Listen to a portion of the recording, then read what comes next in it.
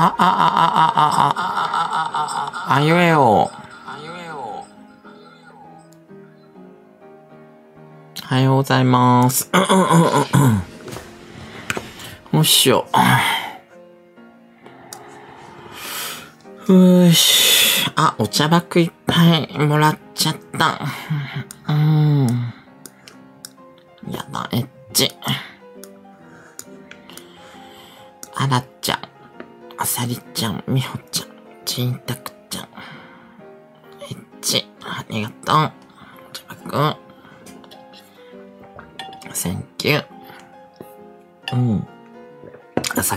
朝からキモいわかってる。うん。えー、まるちゃんもありがとう。お茶箱ありがとう。嬉しいな。センキュー。ありがとう。うんうん。うわちょっと可愛い子ぶろっかなーって。たまには。ちょっと待っててね。大事なもん忘れてた。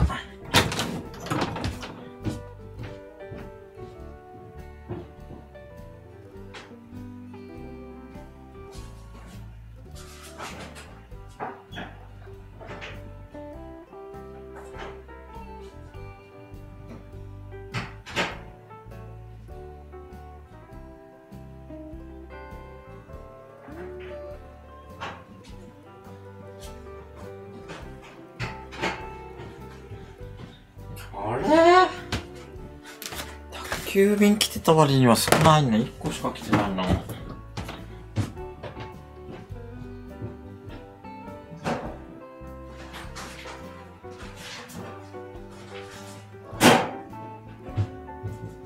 あ、なんかポストにいっぱい入ってんだね。ポストの方だ、今日は。よいしょー。どっこいしょ。髪の毛毎日ダメなのかな？たまには。可愛い子ぶって。アリサちゃん、さくらちゃん。ありがとう。お茶爆す。ありがとう。いつもありがとうございます。ねこれ、プルームテックから営業が来たんだけど。私、プルームテックなんて買ったことないんだけどね。タバコ。すごいね。髪の毛巻き方下手？下手じゃないでしょ。これ、ここだけしか巻いてないんだよ。ここだけしか、表面しか。今流行りの巻き方だよね。全体的に巻くんでなくて、表面だけ巻く巻き方って流行ってんで、今、若い子とかね。いや、流行ってる流行ってる。韓国とかで流行ってるよね。そうやってさ、可愛くなっちゃうと、嫉妬しちゃうんだから、みんな。ねえ。どうしても許せないというか、可愛い私が。どんどん綺麗になって可愛くなってくのがさ、あ、ゆりかちゃん、パルチカちゃん、アリスちゃん、さくらちゃん、お茶爆センキュー。私が可愛くなったらなんか損するのかな、みんなが。ごめんなさいって感じで。まあまあまあまあまあまあ、落ち着いてください。落ち着いて。落ち着いてください。ごめんなさい。今、アイテムがたくさん飛んでるんですいません。きょったんちゃん、ゆりかちゃん、麦かちゃん、ゆりかちゃん、パルチカちゃん、アリスちゃん、ありがとう。センキュー。うーん。髪巻いちゃダメなの？これが普通なんじゃないの？ねえ、髪の毛ボサボサで、仕事するより、綺麗に仕事した方がいいんじゃないの？こう見た目とかさ、そういう世界でしょ？あ、こんちゃん、しーちゃん、きょったんちゃん、ゆりかちゃん、むぎかちゃん、ありがとう、センキュー。そりゃそうだよね。こうやってみんなにね、何千人って見られてんのに、汚い格好出てる方が間違いじゃん。可愛く、ね、キメキメで、綺麗に見られるのが当たり前でしょ？ね、美意識高いのは間違いじゃないじゃんって。うん。巻 くなら化粧すれば、だって朝から化粧はしないよね、さすがに。しなくない？お家の中で。外に出かけんだったらするけどさ、誰に見せんの？あ、ごめんね。化粧しなくても綺麗なの。肌ツルツルだし。ねみんなはお化粧しなきゃ外出れないと思うけど、人前に映れないと思うけどさ、シミそばかすが多くて。私はね、ピーリングもしちゃったからさ、今日ね。お肌ツルツルでしょ？ピーリング。最近はね、3日に1回ぐらいね、ピーリングしてんすよ。うん。3日に1回ぐらいね。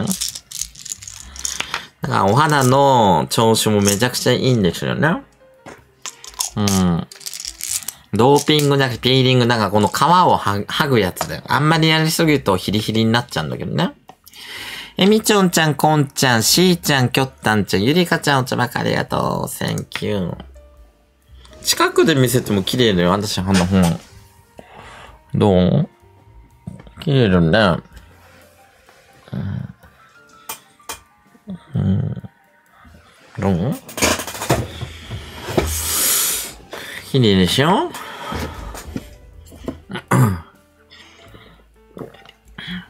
いや、毛穴とか言うけど、このカメラがどんだけのカメラだったと思ってるみんな何十万円もするカメラだよ。プロ用のカメラだからみんな、そこら辺の携帯のカメラと違うんだから一眼レフってさ。この前で、じゃあ映してあげようか、みんなリア凸待ちして。で、みんなボッコボコのね、ぐっちゃぐちゃになると思うよ、ウッキウキの。ね 4K 画質が出るカメラなんだかな。芸能人だって怖がるでしょ？そういう 4K になってからさ、テレビとかね。ハイビジョンから 4K になってすごいビビってんじゃん。芸能人も大変だよね。厚塗りしなきゃいけないからね。おみちゃん、えみちょんちゃん、こんちゃん、しーちゃん、きょったんちゃんありがとう。ちゃばセンキューです。で、芸能界は大変だよ。本当にめっちゃ厚塗りするからね。本当に肌が綺麗な人とかいると思うけど、相当厚塗りしなきゃダメだしね。うん。これ匿名つけ、つけてもつけなくても変わんないね、コメントの質ね、やっぱね。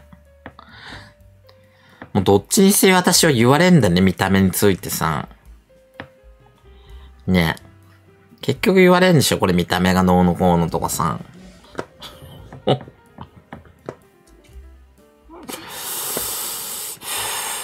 それで切ったら髪の毛切ってないよ。切ってない切ってない。ら、ん？再来週かな、美容室は。宿毛もまだかけてないし、でも結構、あれよね、めちゃくちゃ綺麗にしてる方でね、私からしたらさ、ねえ、あの、保ってるっていうか、いつもサラサラでしょ？だってサラサラツヤツヤでしょ？うん。いや、昔とかすごかったよね。私ね、ボッサボサでね、ほうきみたいな頭とか、もっとすごかったよね。もっと汚かったよね。パッサパサの枝毛の、やっぱヨミくん、今通ってる美容室のとこ通ってかな、すごい綺麗になったよね、髪の毛が。あの、美容室通うようになってからね。だって前は半年に一回とか一年に一回だったからさ、美容室ね。今は一ヶ月に一回行ってるし。うん。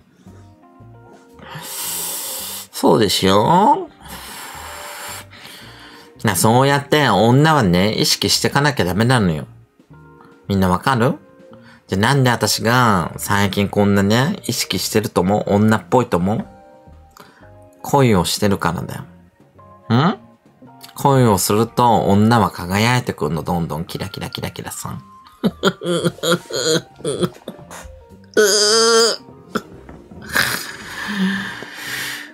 うんムラムラはしてないけどね、最近性欲自体はすごい下がってるんですよ。40になってからね。40で、今まで以上に性欲あったらちょっと気持ち悪いね。モンスターだよね。うん。だんだん下がってくんですよ、私だってね。もともとモンスターだけど。うん。ということで、復活しました、あの方が昨日。こちら、こよくんが、すごくない？この髪型。このタイトルと。最初見た時ナスビかと思ったわ。でどうなのこれってさ、こよくんってさ、ガチモンなの？先生みたいに。わざとなのかな？これ。髪の毛とか。本当にこの髪、髪の毛お風呂入ってなくて、みたいな。わざとセットしてこの髪型なのかな？本物なのかな？でもさ、お部屋の中は、めちゃくちゃ汚いんだよね。めっちゃくちゃ。でもさ、やっぱさ、部屋を掃除できない人って病気だよね。私もそうだけど、やっぱり普通の人ではないよね。やっぱりなんか、お掃除ができないとか片付けができないっていうのはなんか精神的な問題だよね。うん。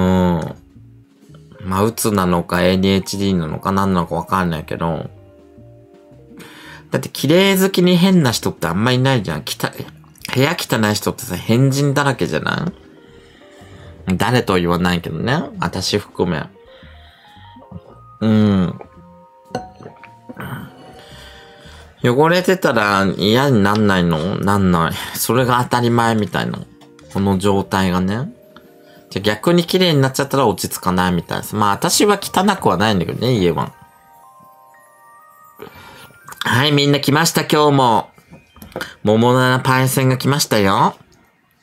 キックウジさんさん、アラさん、ひろこちゃん、りーちゃん、おんみちゃん、えみちょんちゃん、こんちゃん、桃七社長ありがとう。仲間が増えた仲間が増えた仲間が増えた仲間が増えた仲間が増えた Thank you. あのね、絶対にね、桃七ちゃんにやんないでね、みんなね。ね。もう何日も何日もしつこいんで、絶対に桃奈々ちゃんに外部サイトで何もしないでくださいね。わかる？してくださいって言うとまた問題になっちゃうでしょ？外部の話だから。わかる？その意味合いわかりますか？絶対にやんないでくださいね。多分今日イベント最終日なんじゃない？イベント。大変なんだよ、ももなちゃんだってさ、稼ぐのね。ね、おまんこの洗浄とかしなきゃいけないし、大変よ、ナプキンも買わなきゃいけないしさ。うん。女の子って大変でしょ？いろいろ美容とかさ、ネイル行ったり、美容室行ったり、化粧品買ったり。ね？え。あ、友達ありがとう。仲間が増えた。仲間が増えた。仲間が増えた。よっしょ大変なんだよ。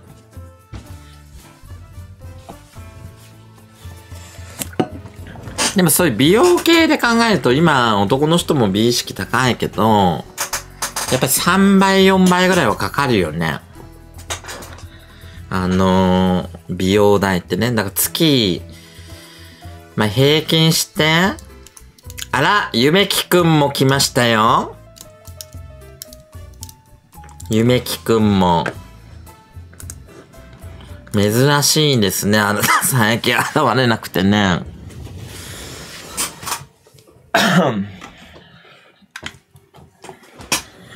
Welcome to use Bluetooth microphone. Bluetooth mode. Bluetooth connected.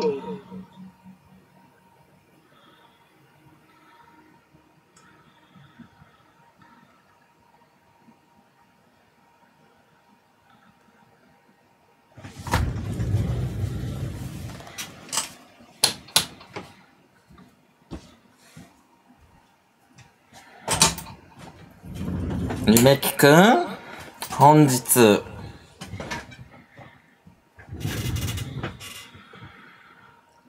本日は、ゆめきくんの誕生日でございます。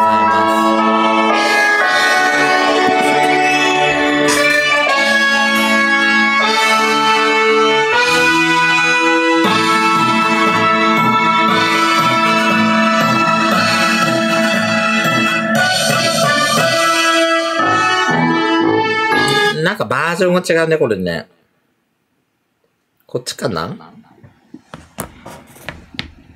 本日、12月6日火曜日、す、ちょっと待って。本日、12月6日水曜日は、あれゆめきくんのお誕生日でございます。誕生日おめでとうございます。Happy birthday, ゆめき。Happy birthday, ゆめき。Happy birthday, dear ゆめき。Happy birthday to you. おめでとバイバイ。う。ということで、っと朝からね、テンション高めですけど。うん、いくつになったのね ?30? 34? この間ね、私のお誕生日の時バンジージャンプ手伝ってもらったし、ね、こちらのプレゼントもいただいちゃったし、みたいな Apple Watch Ultra 2ね。こちら、みんなでね、4人で買ってもらって、みたいな。うん、大事に使ってます。毎日つけてるんでね、ゆめきくん。うん。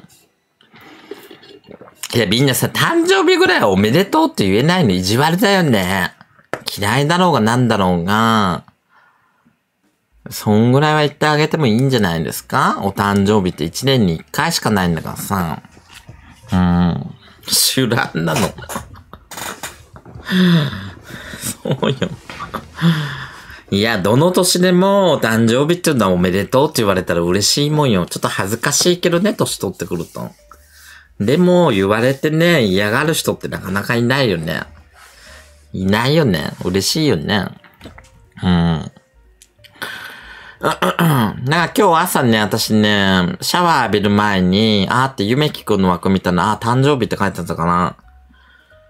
まあ、昨日から言ってたじゃん、誕生日ってさ。明日誕生日ってね。なんか Amazon ギフトカード、ちょっと大分に行きたかったんだけど、今週さ、旅行入ってんじゃん。藤見ちゃんとね。だからちょっと行けないなと思って、Amazon ギフトカードをね、送っといた。うん。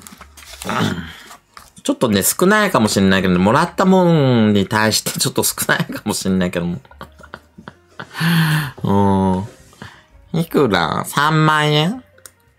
だから Apple Watch が多分ね、4人で多分3万円ぐらいだと思うんで、で、ゆめきくんちょっと多めに払ったと思うんで、だか少ないかなみたいな。多分3万5千円ぐらいゆめきくん私の誕生日に払ってんじゃないかなみたいな。そう。うん。なんだって、ゆめきくん。ありがとう。また何買ったとか伝えるねと、まあね。好きなもん買えるからね、甘岐阜だったらね。うん。もう天下でも何でも買ってくださいって言うんだよね。うん。ただね、ゆめきくんが今日言ってたんだよ。ね、ふわっちなんか久しぶりに来たし、俺 TikTok の人だし、みたいな。何ほざいてんのみたいな。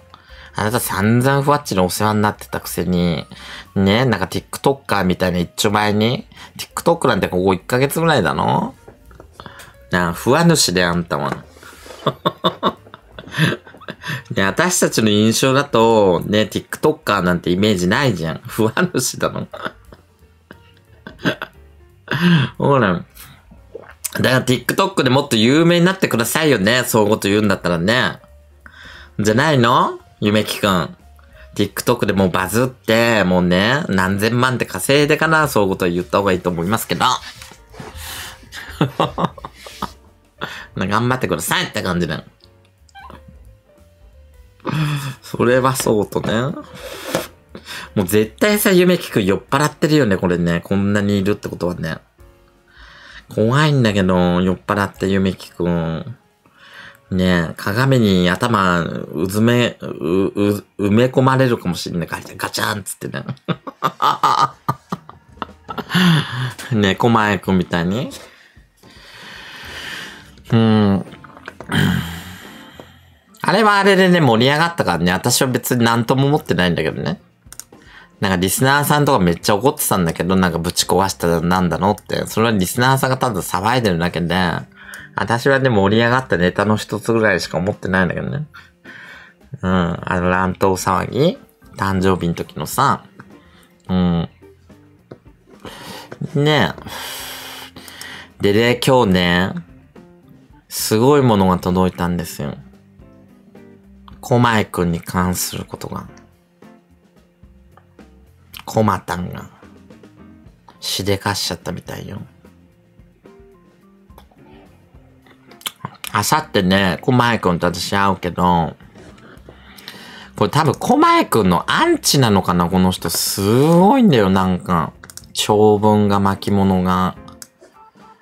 かなりね、アンチ化してんじゃないかなってさ。コマイ君ってそんなにね、表面上はいてもさ、こうやって裏で言ってくる人ってあんまりいないんだけどね、コマイ君に関して。なんか結構ね、すごいんだよね。名前は伏せますけどね。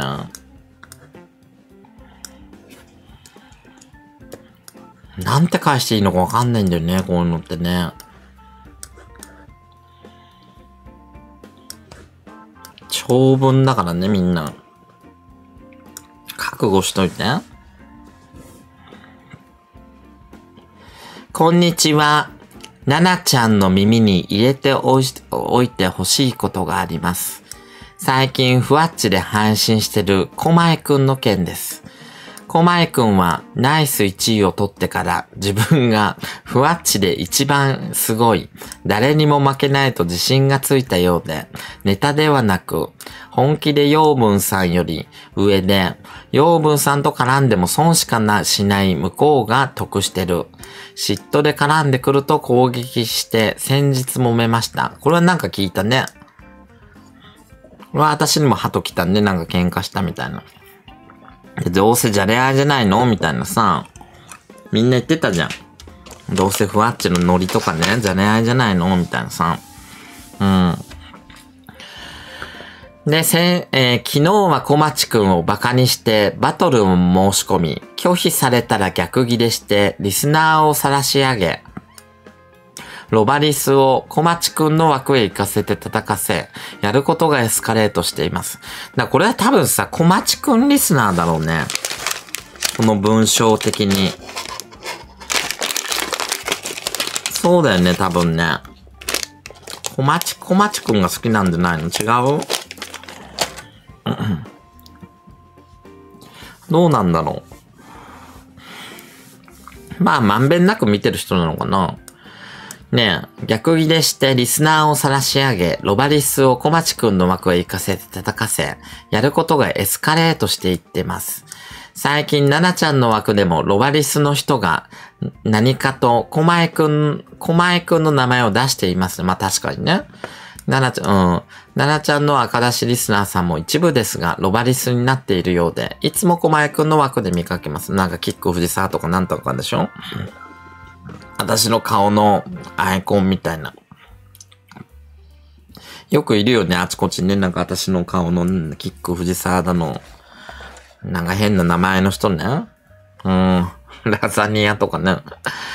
誰と絡もうが奈々ちゃんの自由ですが、小町、小町くんを鎌倉に呼ぶなら、小前くんは遠慮してほしいですと。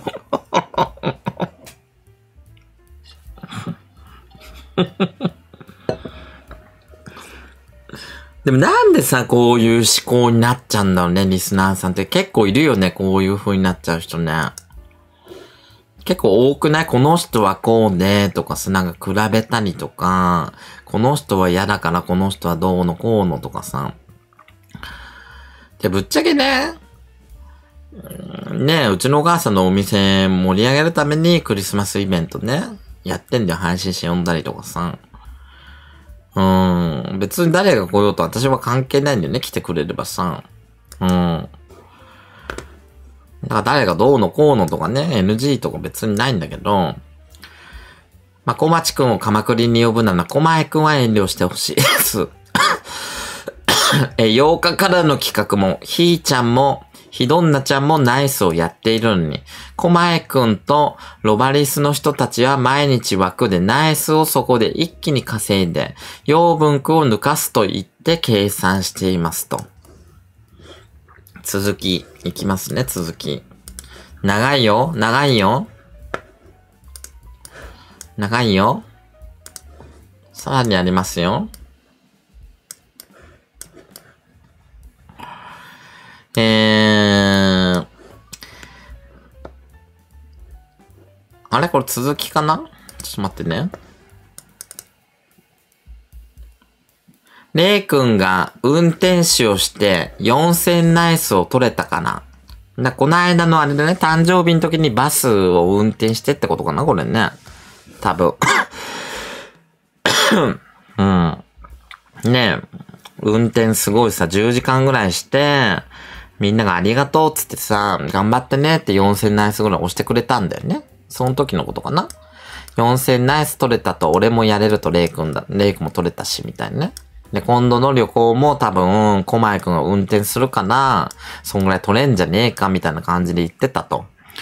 で、チートや売名は仕方ないですが、ナナちゃんと親交のある、えー、ちょっと待ってね、もうちょいちっちゃくするか、見、見づらいね。えー、信仰の、えー、どこまで読んだかな？えっ、ー、と、どこだ？うーんとな。うーんと、どこまで読んだっけ？信仰があるまで読んだっけ？チートや売名は仕方ないですが、ナナちゃんと親交のある養分さんや小町くんを本気で見下して、ナナちゃんを使おうとしてるのが許せません。あのさ、みんなさ、私のことを使うとか利用するとか言うけど、私別に何も考えてないんだよね、そういうの。使われようがいいんだよ、別に。嫌だったらだってさ、受け入れないし、手伝わないじゃん。そこをみんな履き違えてんだけどね。利用目的で来ようとしても、別に私は受け入れるじゃん、誰だってさ。いや、分かってるよ。分かってるけどね、そういう風に利用されてるってこと分かってるけど、少なからず私もね、配信が盛り上がるし、面白いもの見せれるかな。私も利用してるとこあんだよね、ぶっちゃけ。そうじゃん。なお互い持ちつ持たれつつね。売名の代わりに私だって盛り上がりっていうさ、ネタをいただいてるからね。うん。だ本気で見下して奈々ちゃんを使おうとしてんのが許せませんと。さっきまあでもリスナーさん的には不愉快なんだよね。そういう利用をしてくる人たちがさ、いっぱい来たりとかね。その生意気な人が私に近づいてくると私のことが好きだかな。ね？ね？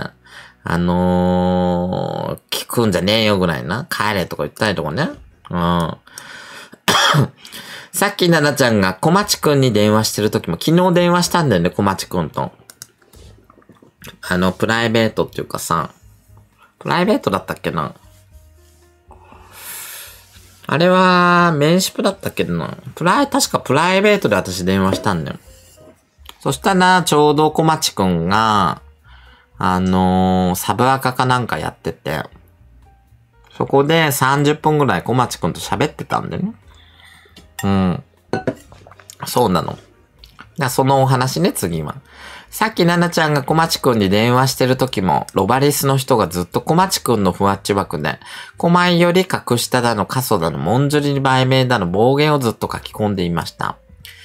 え天狗になって、えー、攻撃的になってる間は関わってほしくないのが本音です まあ確かにね、小前くんは最近は勢いがありますよ。勢いが。まあ、ちょっと天狗と言われるのもわかるよ。勢いがやっぱりある人ってそう言われんだよ。イケイケの人とかさ、こう走ってる人ってね。そういう風に見えちゃうわけよ。うん。ただ、小前くんは小前くんなりに、あのー、ちゃんと企画やったりとかさ、リスナーさんを楽しましてんじゃん。ね、別に荒稼ぎしてさ、ね、それで、休んだりとかもしてないしね。ナイスだって休めないんだよ、ぶっちゃけ。毎日配信をしなきゃナイスもらえないし。うん。いや、結構頑張ってんなと私は思ってるよ。ちょっと偉そうだけどね。ただそれを偉そうじゃなくて成長してる段階だと見てあげればリスナーさんはね。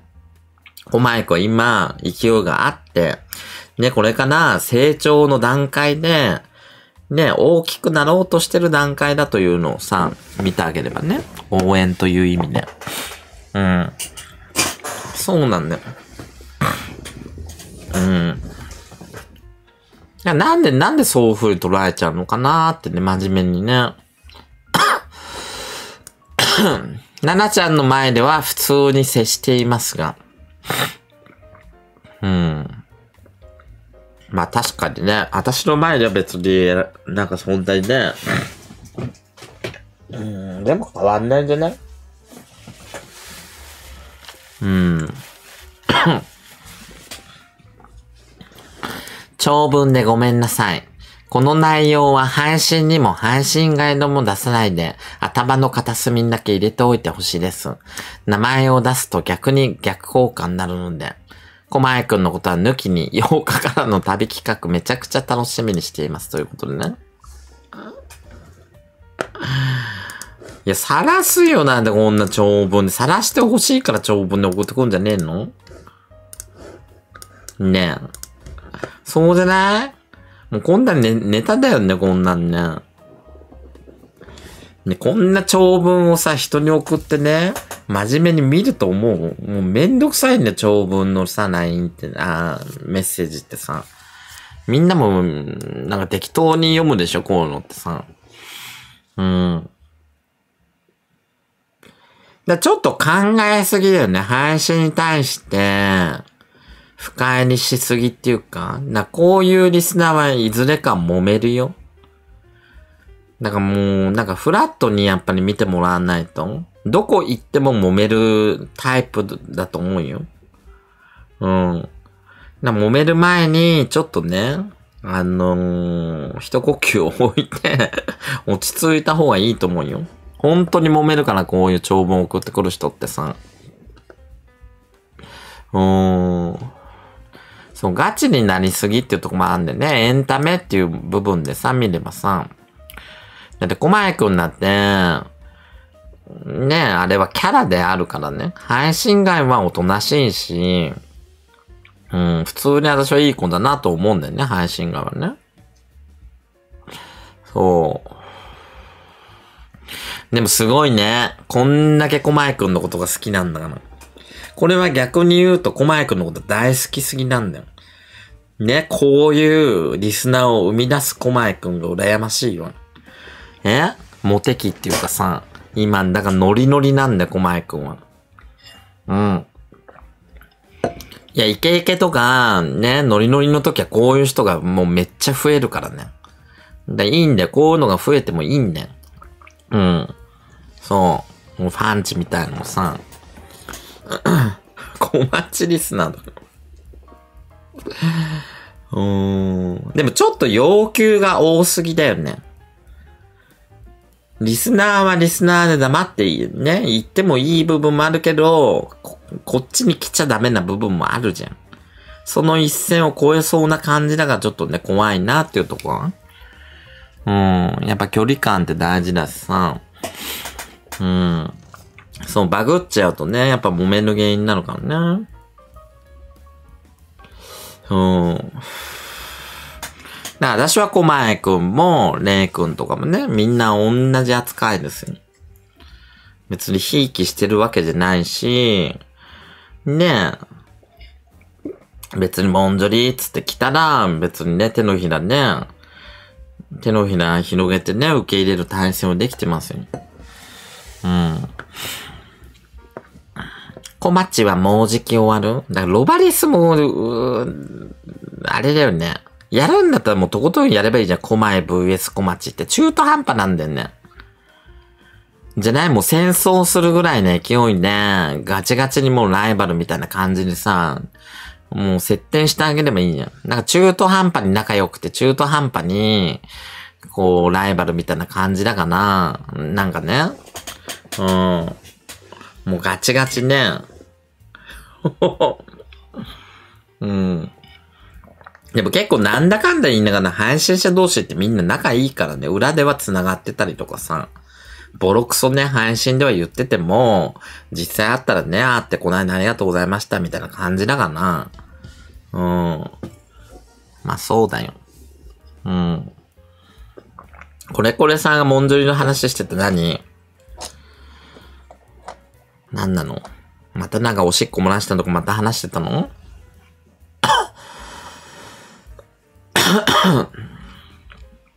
ブスって言ってたの？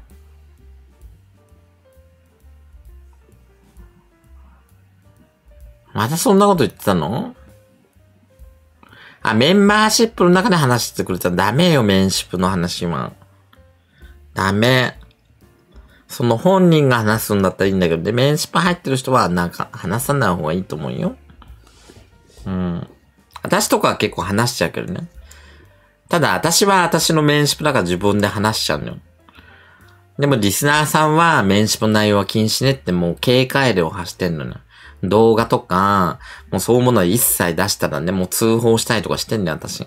あの、脅すからね。そういうものを出したら、DM とかで私脅すからね、法的処置を取りますと。ね、私に著作権があるんで、つってさ。そしたらみんなすぐね、フュってね、動画とか消してくれんのよ。すいません、つってね。うん。そうだよ。な、こ、こまえくんも大変だなと思ってね。うーん。でも、これを乗り越えればね、こまえくんも、超大手さんになると思いますよ、私ね。うん。ね。こよくんはこんな感じと。やばくない？本当に。ていうか、この服き好きで年がら年中この服着てない？この。この茶色の服みたいの。この服好きだよね。本当に。でもさ、こよくんさ、ガチだとしてさ、そのやっぱり1ヶ月間引きこもっちゃうっていうのは何なのね、病、病名で、もうガチだとしてね。そういうお掃除もできなくて、やっぱ鬱なのかな？お仕事もできなくなって、みたいな。で、結構ね、復活したらガリガリに痩せてるしね、ご飯とかも食べれないのかな？お風呂も入れないし。うーん。この間もね、なんか、うつの話してたけど、まあ、身の回りでね、そういう人が出ると、なんか、そんな、はっきりと言えないよね。うん、名前とかさ。でね、昨日話してた内容によると、あのーお家を解約するって言ってんだよ。今住んでる家を。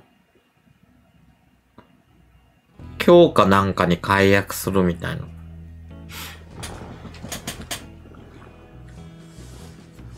うん。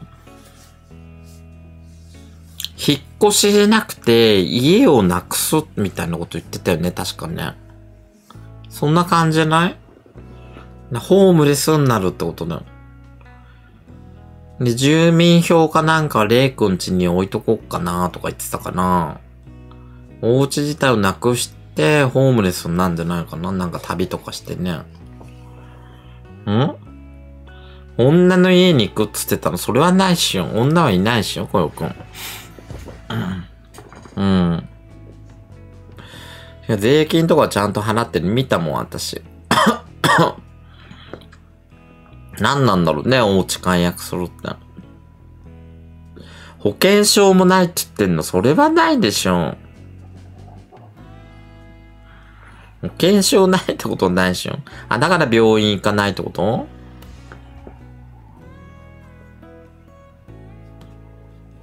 少し置いてあげてな、一人は寂しいし。あ、うちにってこと？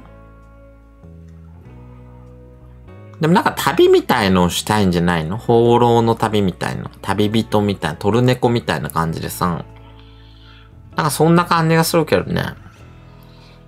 昔の養分伊藤くんみたいな感じでね。養分くんもさ、お家なくなって、ブラブラブラブラあちこち歩いてたじゃん。一年間ぐらい。ね、住む場所なくてホテル暮らしで、みたいな。うん。海外に徒歩旅に行くんなん。でもさ、そのパワーがすごいね。1ヶ月休んでて、さらにその次にやることが海外に徒歩旅って、そのボルテージの、なんかすごくない？そのメメリハリが。ドンドンって感じやん。あ、それが相うつなんだ。相うつの人ってそんな感じ？相うつって愛子ちゃんみたいな感じかな愛子ちゃんもなんかさ、テンション高い時と、すごいなんか落ち込んでる時の繰り返しじゃん、あの人ってね。暗い時は、もう相手にしないで、みたいなさ。調子がいいと、奈々ちゃんさ、あのさ、シャネルさ、いっぱいあんだけど、あの昔さ、お相撲さんにもらってさ、あれ30年前とか、奈々ちゃんとかにさ、あれいっぱいあげようかなと思って持ってきたんだけど、これワニの皮の財布ね。ワニの皮があって、これいっぱいで、これ当時高かったんだよね、みたいなさ。そんな感じでしょ？そう。ハイアンドローなんだ。うーん。でもまあ生きててよかったかなって配信もつけれてね。うーん。1ヶ月ぐらい？だから私の誕生日後ぐらいにね、もう、あの、配信つ、ね、連絡も取れてなかったし、みたいな。うん。愛子ちゃんからもらった財布どうしてんの？封印してる。なんか、金運下がりそうで。もらって悪いんだけど。うん。なんか蛇側のやつでしょ？なんか呪いかかりそうでね。封印してる今こっちの棚のとこでね。そう、特級呪物みたいな扱い。だってさ、蛇柄の財布って使わなくない？使うみんな。何に使っていいのかわかんない。ここにあるんだけどね。と使いづらいっていうか、まあ、サブのお財布って感じかなと、ね、家に現金ある時に入れたりとかさ、カード入れたりとかね。これ、愛子ちゃんにもらったやつ。新品みたいだけどね。こういうね。Python って書いてあるね。Python。ヘビ柄ってことでしょ ?Python ってことはヘビ、ヘビだよね。スナップ付きって。色は可愛いんだけどね。この、な、この色はいいよね。このピンクはね。ただこっちがちょっとド派手っていうかさ。うん。なんか、あ私は似合わないよね。Python で。似合う？ヒョウ柄とか虎柄は似合うけど、なんかあんまりヘビって感じしないよね。うん。なこれは封印しといてるね、こっちに。い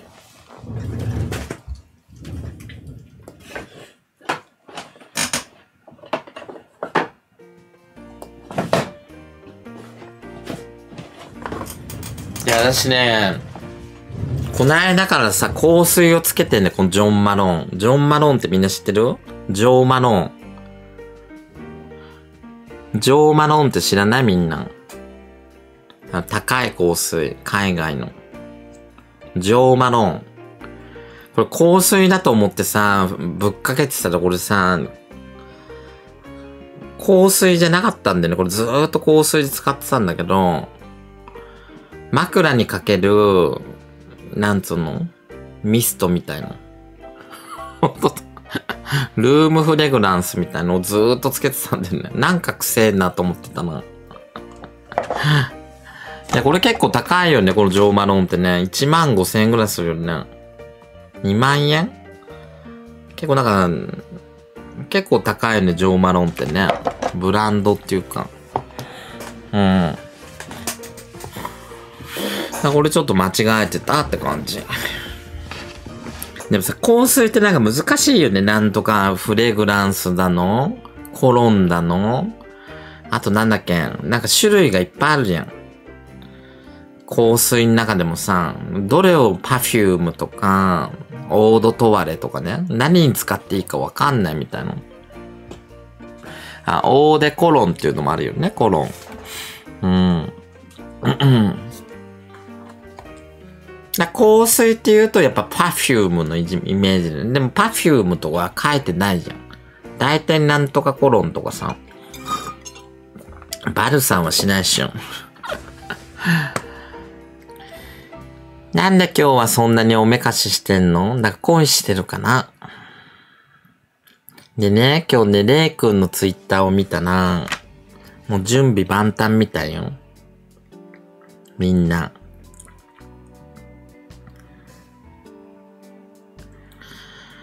もうね、準備、準備始まっちゃってるみたいよ。明日お家に来るんだけどね。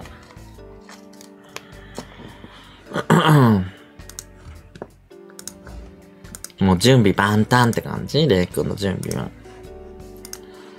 もうやる気満々って感じ。で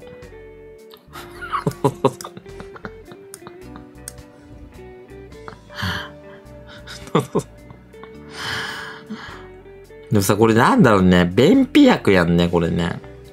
炭酸ガスの便秘薬みたいな。初めて見た、これ。便利治療、治療剤っていうのかな？ゼリアの便秘薬を、ニューレシカボンっていうのかな？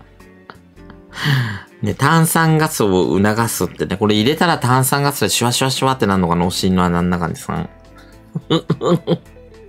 すごくない？あともう一個ね、ツイートしててこれだよ、蛇腹これ、楽に使える蛇腹型、ロングノズル、なんとか入りって書いてあるね。これね、干潮30みたいなさ、便秘にみたいな。だこれ何なのね、これね。レイ君がなんか便秘なのかな？それとも私と使うために買ったのかな？それともレイ君が使うようなのかな？プレゼントでもらったの？これ。いや、私は入れる方じゃないよ。入れられる方だよ。みんな勘違いしないでね。私は入れられる方だから、女側だからね。ね、猫ちゃんっていうの？そういうの、受けっていうのかな。うん。どこに入れる入れるんだ？ケツの穴だっつうんだよ。ケツの穴。ね。おふざけなしでね。いや、普通の人だったら出口なんだけど、私たちって入り口にもなんだよね。出口にも入り口、入り口にもなんだ。だから新幹線のトンネルみたいな感じよ。ちゃんと突貫工事して、開通して、ね、入り口にもなるし、出口にもなるっていう。そう。だそこら辺の感覚がちょっと違うんだろうな、みたいな。あ、まー、あ、ちゃん、きもちゃん、40キックちゃん、ももななちゃん、40キックちゃん、ももななちゃん、ももなちゃん、キックちゃん、ももななちゃん、あらちゃん、ひろこちゃん、結構ももなちゃん投げてくれたね。ありがとう、センキュー。うん。なんか言い方が違うんだよね。あの、何を言おうとしたのか忘れちゃったな。多分、あごめん、ちょっとなんか言葉が出てこないな。うん。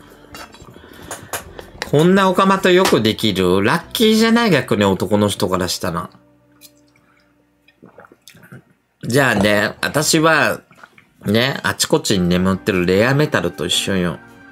なかなか手に入んないもの。普通の女じゃないし、ね、普通の風貌じゃないし、普通の人じゃないじゃん。かなりレアなラッキー素材なの。で、そのね、レアメタルを手に入れるために、手に入れたらすごい男はね、あのー、幸福度と、ね、満足感に溢れるんですよ。こんなね、ものを抱いてしまったと。こんなものってなんだろう。こんなものっておかしいよね。そうでレ、レアじゃないなって。ほんでさ、男なんてね、飽きてくるから普通の女とかさ。そうじゃん。普通の女飽きんねん。マイトラちゃん、まるまるちゃん、アミマちゃん、ナナミンちゃん、まー、ちゃん、お茶ばく、あんきもちゃんもありがとう、センキュー。ちみ、ちぴめいちゃんもありがとう。うん。なんでこんなに自分に自信があんの？なぜか言ってあげよっか。ねなぜ私が自信に満ち溢れてて輝いてるか。自分を信じてるから。うん、そういうことじゃない。うん。素晴らしいしょ？そういうことでしょ？だって。うん。じゃ逆にじゃあなんでみんな自信がないの？自分に。そんなに生まれつきね、いい見た目ね、いいものを親からもらっててね、顔だにね、体なりさ、ね、性格にいいものをもらってんのになんでそんな自信がないのかなと思うよ。いいものをもらってんのに。うん。もらってないと思うんだ。あー。自分は他より劣ってると。他と比べてるからじゃないのそれって。ね。他と比べるから自分の価値を定めちゃうわけでしょね。他と比べなきゃいいじゃん。ねえ。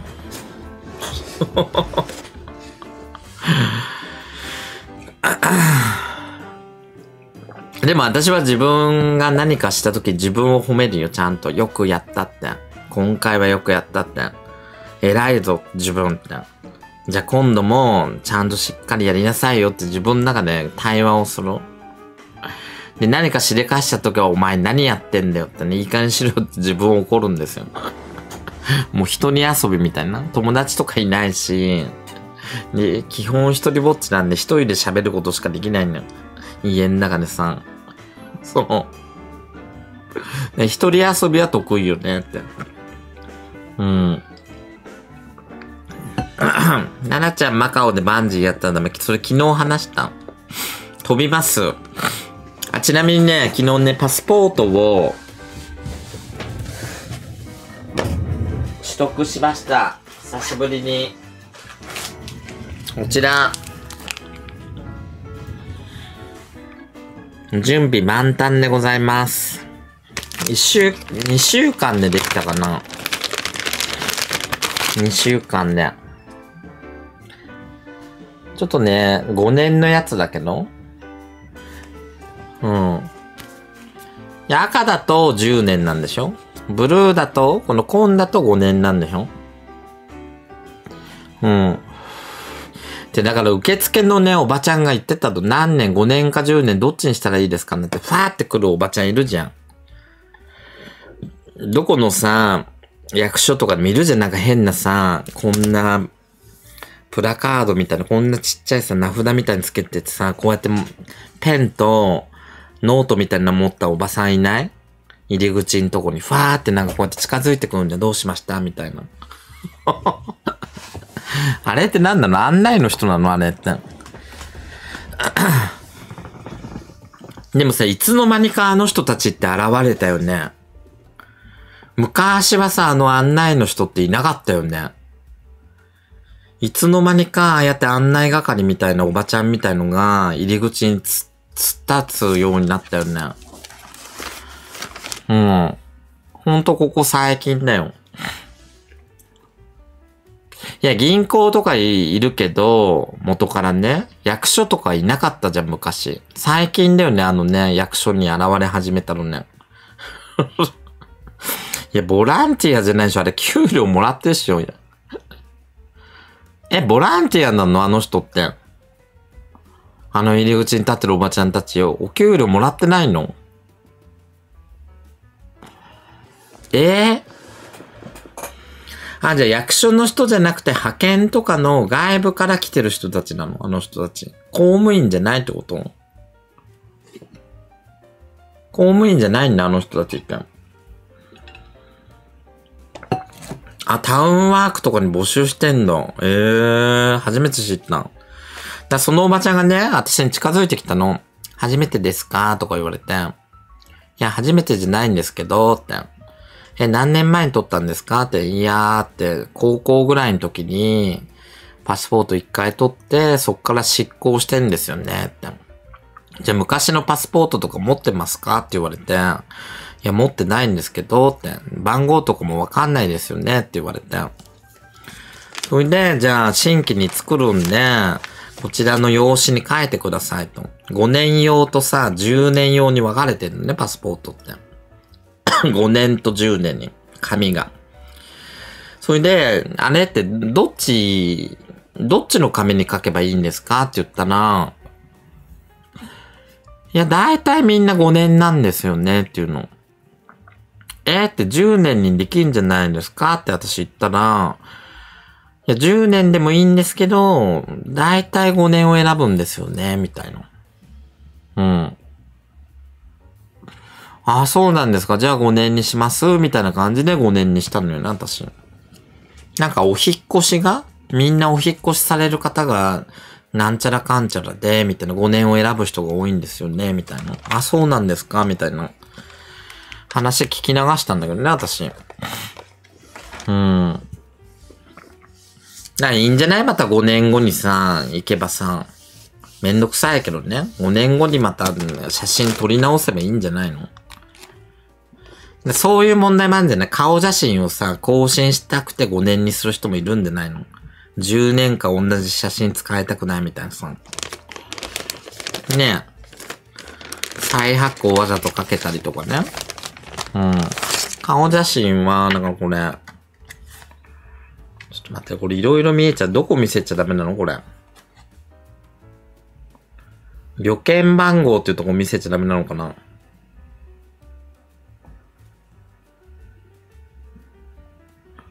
偽造されちゃうよね。だ顔写真もさ、リスナーさんが言ってたんだけど、あんまり見せない方がいいよって。そのなんか顔写真で偽造される可能性があるかな。あんまりパスポートとかそういう身分証の写真とか見せなくていいよみたいな。うん。あんまりね。うん。でも見せちゃうんだけどね。見せちゃうんだけどね。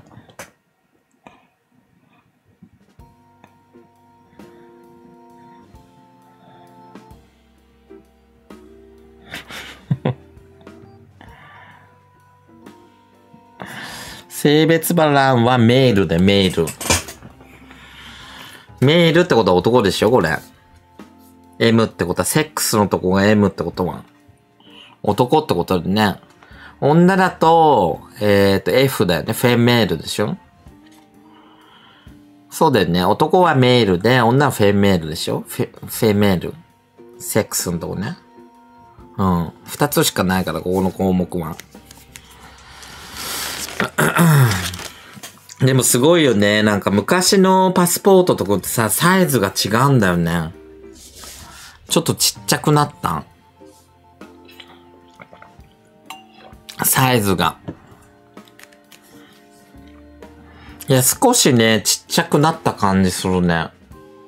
多分変わってんじゃない？サイズ。私が高校生の時撮った時よりちっちゃくなってる？サイズが。多分変わったんじゃない？あ、世界共通なの？この大きさはみんな、どの国もこの大きさなのじゃ変わってないのかな？あんたがでかくなって、いや、そんなに変わってねえし、高校の時かな。そんなに変わってないよ。ん？下の番号が見えちゃうとダメ？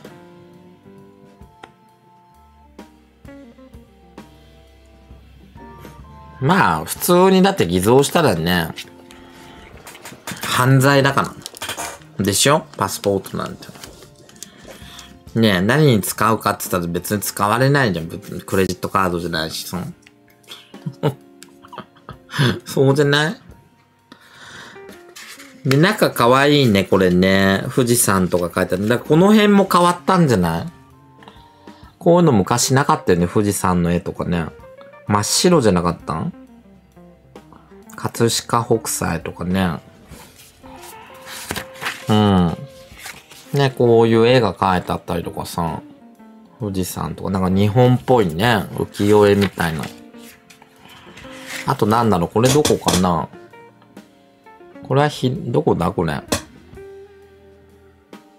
どっかの港町みたいな。広島？これはどこだろう赤レンガ倉庫なのかなこれ昔の。うーん。あ富士山が多いね、富士山が。あとなんか IC チップみたいのが中に入ってるみたい。これも変わったね、昔と。こんなん入ってなかったかな。このさ、IC チップはさ、何に使うの？これ。この中に入ってるけど、な、何に使うんだろう？これ。この中。スマートゲート。あ、偽造防止とスマートゲートっていうのがあんの？え、じゃあこれでピッて言って入国できるの？ピュって。へー。すごいね。変わったね、パスポートもね。進化したわ。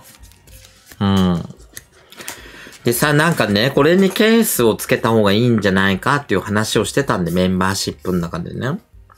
そしたら、リスナーさんがジップロックでいいよってさ、そのなんかいちいち、そのケースとかカバーをさ、外さなきゃいけないって。うん。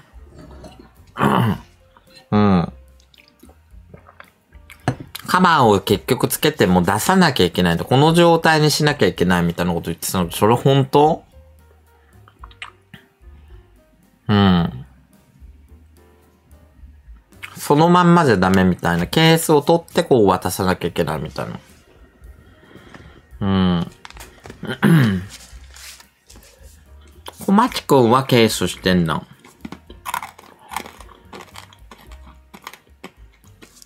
ビトンのケースは持ってないの、私。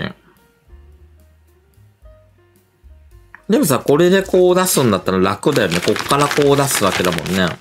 ケースとか取んなくてさ。シュッて、シュッて出すだけだから。で、旅客券とかも、ね、ここに全部入れて、お金とかも全部ここに入れればさ、シュッてね、こっから全部出せるじゃん。うん。そうでしょ？カバー外してって言われる時もあるでしょ？これは、ね、この間買ったカバンの、海外に、これ海外用に買ったんだけどね。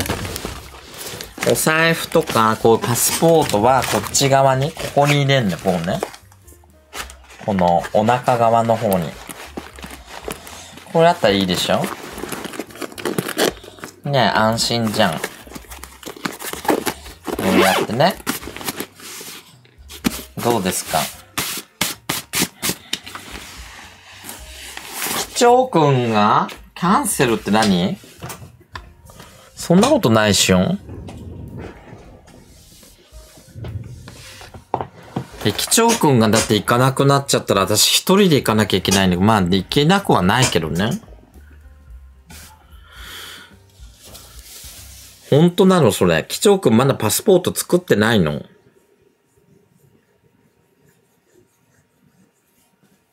え、間に合わないってこと？反射だからパスポート取れない？いや、どう見ても反射じゃないでしょ、機長くんは。どちらかというと装飾系じゃない？そっち系じゃなくて。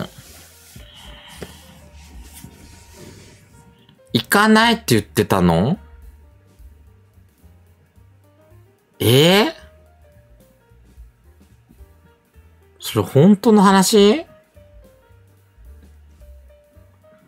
多分行けなさそうって言ってたの？配信で。ええ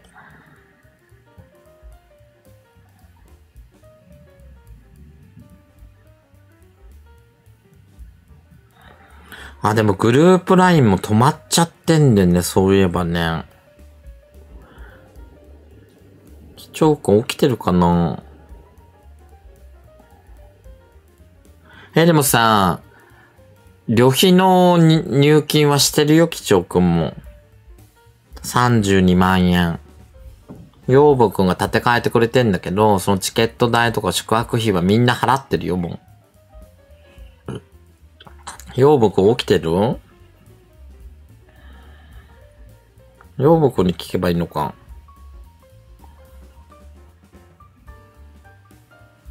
うーんと、こっちかな？またデマでしょ、そうやってさ、もめ、なんか、パニックにしようとしてんでしょ。養分くん？寝てる？はい。起きてる？いや、今起きてるよ。ああ、配信中？今配信してたよ。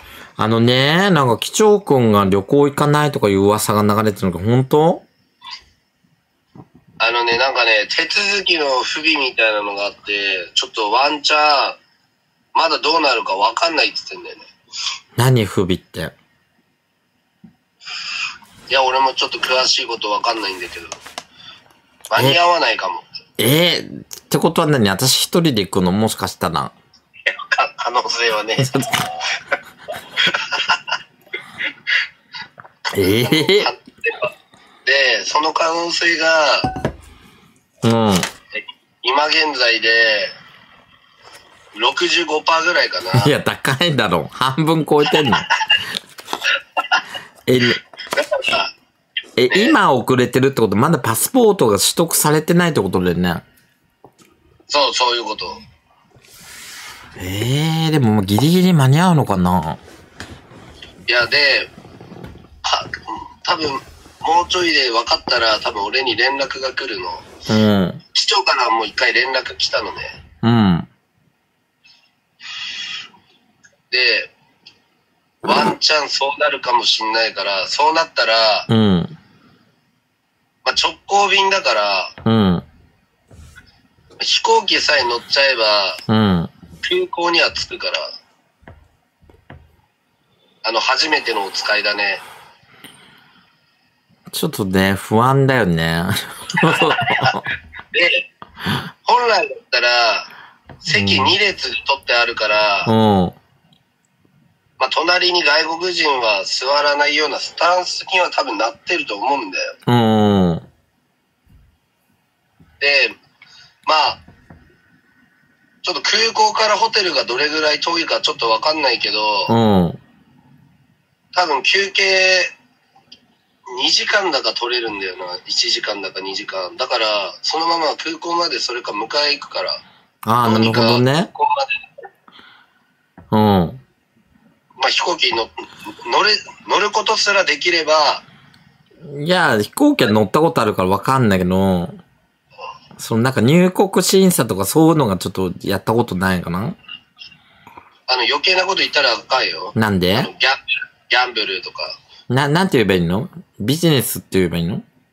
ビジネスあかん、あかんって。なんで？サイト、サイトシーン、サイトシーンって何？観光。あー、サイトシーンっていうの？たら、そう、サイトシーン、サイトシーンってずっと言ってたらいいから。え、な、なんでビジネスじゃダメなの？知らねえ。あのね、あ海外はうるさいんだよ。あー、なんか、手続きが必要なのか。他のが。サイトシーンね、サイトシーン。で、まあ、どう、ちょっとどうなるか、まだわかんないんだよね、そこだけ。で、帰りは、まあ、大丈夫なのよ。あ、みんなで帰るからね。そう、帰りはもう全員一緒だから、うん。そこだけ、ちょっと、機長がワンチャンいなかったら、頑張ってもらうような形になるね。頑張るわ。ちょっと調べるわ、いろいろ。で、あのね、直行便であれ確か7時、7時ぐらいだったでしょ何時だ？あ、9時か。えー朝、そうだね。だから、最低2時間前ぐらいには着かなきゃいけないのよ。じゃあ、前乗りだね。で、な成田だもんね。なんか、2時間ぐらい、その保安検査みたいなのが、うん。年末だったら混むらしいのよ。だから、最低限2時間前には着いてないと、その検査が今度混んでるから、それ遅れると今度出れないじゃあ、9時だから、7時には空港にいなきゃダメってことねそう、。7時ぐらいにはもう着いとくのがベストなのよね。おー、成田ね。余裕持つようにね。うん。まあ、その辺は大丈夫。あ、その辺は OK。うん。もしかしたら前乗りするかもしれないし。まあ、ちょっと2時間ちょっと前ぐらい、2時間半ぐらい、うん。早めに。ちょ、そこだけちょっと大変かもしれんけど、できる？うん。なんか、え、え、うちの駅の近く直行便があったような気がする、成田の。あ、そう。駅からなんかリムジンバスみたいの？おーなんか5時ぐらい、そうだ5時とか4時から出てるもんね。お前、あの、リスナーいっぱいいるから、ちょっとリスナーに送ってってもらい。ああ、それでもいいけど。ああ、うじゃうじゃいるだろうかうら。ん。わかった。うん。ロローマ字は、ん？俺昨日確認したから、ローマ字。あ、ローマだからねチケットは大丈夫ってこと？チケットは大丈夫だった、見た。えーでもさ、機長くんがキャンセルになった場合って、チケットは払い戻されるのかな？機機長くんの分いや。、あの、機長はもう、お金は捨てるから、でなんか諦めモード入ってたから、30万？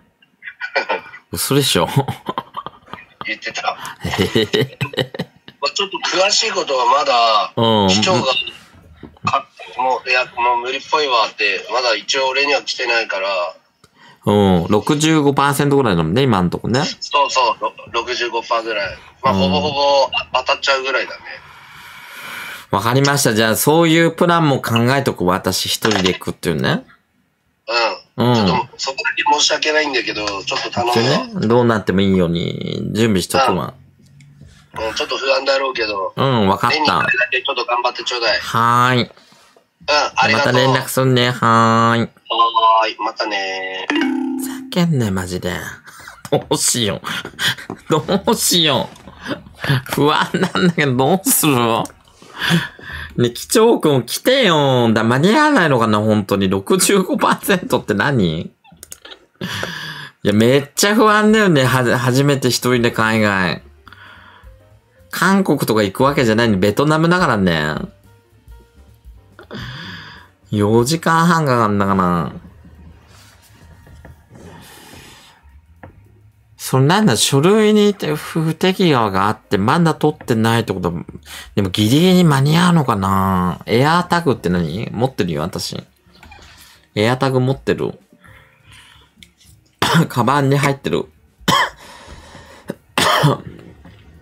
うーん。だから、機長くんもまだわかんないって感じなんじゃない？その、なんか連絡待ちみたいな感じなんじゃないか？さっきの言い方だとね。どっちになるかわかんない状態みたいな？そういうことなんじゃないかな。いや、前科はないと思うよ。ないよね。前科があるとパスポートって取れないの？だったらみんなほとんど取れないんじゃない？ここにいるほとんどの人、みんな前科あるじゃん。うん。いや、取れるね。多分取れないパターンはあれじゃん。執行猶予中とか裁判中とかじゃないの？そう、裁判で国外に逃げちゃダメよとか、執行猶予中で今現在？そういう人たちは取れないよね。確かにね。あとなんだろう？パスポートで取れないの？海外に逃亡する可能性がある人は取れないね。わかりやすく言うと。なんか、なんかに巻き込まれてたりとかさ、起こしたりとかして。うん。えー、どうしよう。一人で飛行機マジで。ちょっと待ってね。どうしよう。ちょっとパニックってくるな。ちょっとシミュレーションしよっかな。とりあえず成田空港までは行けるじゃん。何回も私行ってんで成田でね。これ持って、どうしよう。じゃあこれガラガラだとするよ、ガラガラ。こうやってね、荷物を。で、空港着いたら何？チケット？チケットはどうすればいいんだろう？チケットを送ってくるっつっててね、養分くんがね。チケットはうちに送ってくれるっつってたから、チケットとパスポートを持ってけばいいの？チケットとパスポートを一緒に持ってって、えーと、そこの空港のカウンターに行けばいいんでしょ ?2 時間前に。2時間前に行って、そこで、なんか2時間前とかでもさ、荷物預けられんだっけ ?30 分前だっけあれ。海外は違うの？国内だとなんか早めに預けられるよね。ん？3時間前に行った方がいいの？海外だと？なんか違うのかなチェックが。いや、だって行ったことないし不安だよね。修学旅行で韓国は行ったけど、その時はだってさ、先生とかがさ、いたし、大勢いたかな。そのなん、なんつうのかな、結構フリーパスみたいな感じ？修学旅行生ってそんなに検査とかもしなかったさーって感じよ。あの集団の場合はね、学校の場合は。動画を見る。動画？初めての海外旅行の入国審査みたいな ?YouTube であるかな？なんか空港会社が出してないかな？はじ、初めての入国審査でいいのかな？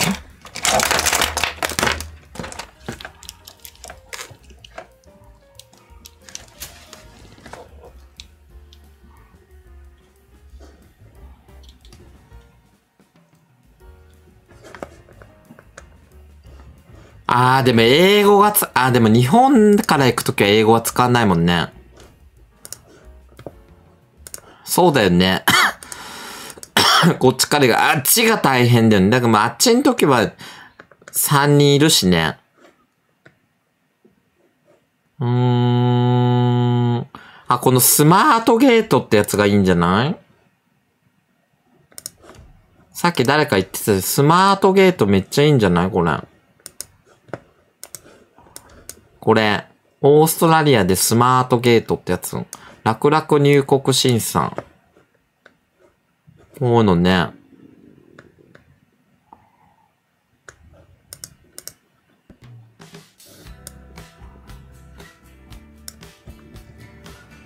Next. May I see your passport? May I see your passport? Hi, here you are. あ、こちらですね。Hey, here. 目的は何ですか？これね。サイ。これね、サイ。え、ね、こんなん聞かれんの？こんなん。こんなに会話すんの？嘘滞在は私は3泊4日だね4日。Five 4、4 days. days って言えばいいんでしょ？Where are you going to stay? えーベトナムの、えードンファンじゃなくてなんだっけな？ベトナムの、ミョンドンじゃなくて、なんだっけ？チンドンじゃなくて、どこだっけ？ダナン。ダナン。Hilton Hotel. ダナン。Do you have anything to declare? No. これって何？申告するものって何？何か申告するものってどういうこと？申告って、あ、お金とか？あ、だから100万円以上とか、だと申告しなきゃいけないんだっけ？大量持ってたの。What's your occupation? I'm a え、職業ってなんて言うんだろう？私、なんて言うの？クリエイター？無職じゃないでしょ？ライバーじゃ通じないんじゃないかな？日本和製英語じゃない？ライバーって。ライブストリーマー。ライブストリーマンで通じそうじゃない？ライブストリーマン。ストリーマン。businessman. I'm あ、 self-employed. これだね、これだね。自営業だ。I'm self employed. I- I'm self employed. employed. self employed. I'm retire. I'm an office worker. I'm a housewife. あ、主婦ってそういうこと言うんだ I'm ね a。student. ハウスワイフ。Put your right thumb on the screen. これ何この機械？何これ？指紋認証？こんなことすんの？なんで4本指をあ上げんの？これ、スクリーンに。なんで？なんで？なんで指を置くの？これ。おかしくない？何すんの？これ。Now put the other four fingers. Look at the camera, please. えなんでカメラを見なきゃいけないの？これ。カメラでも撮られんの？これ本当？指紋を置いてカメラもやるの？写真を撮るんだ、顔を。え、じゃあマスクしてちゃダメってことだよね、この時点でね。Thank you. あ、これだけ？これ。これだけなの？簡単じゃん。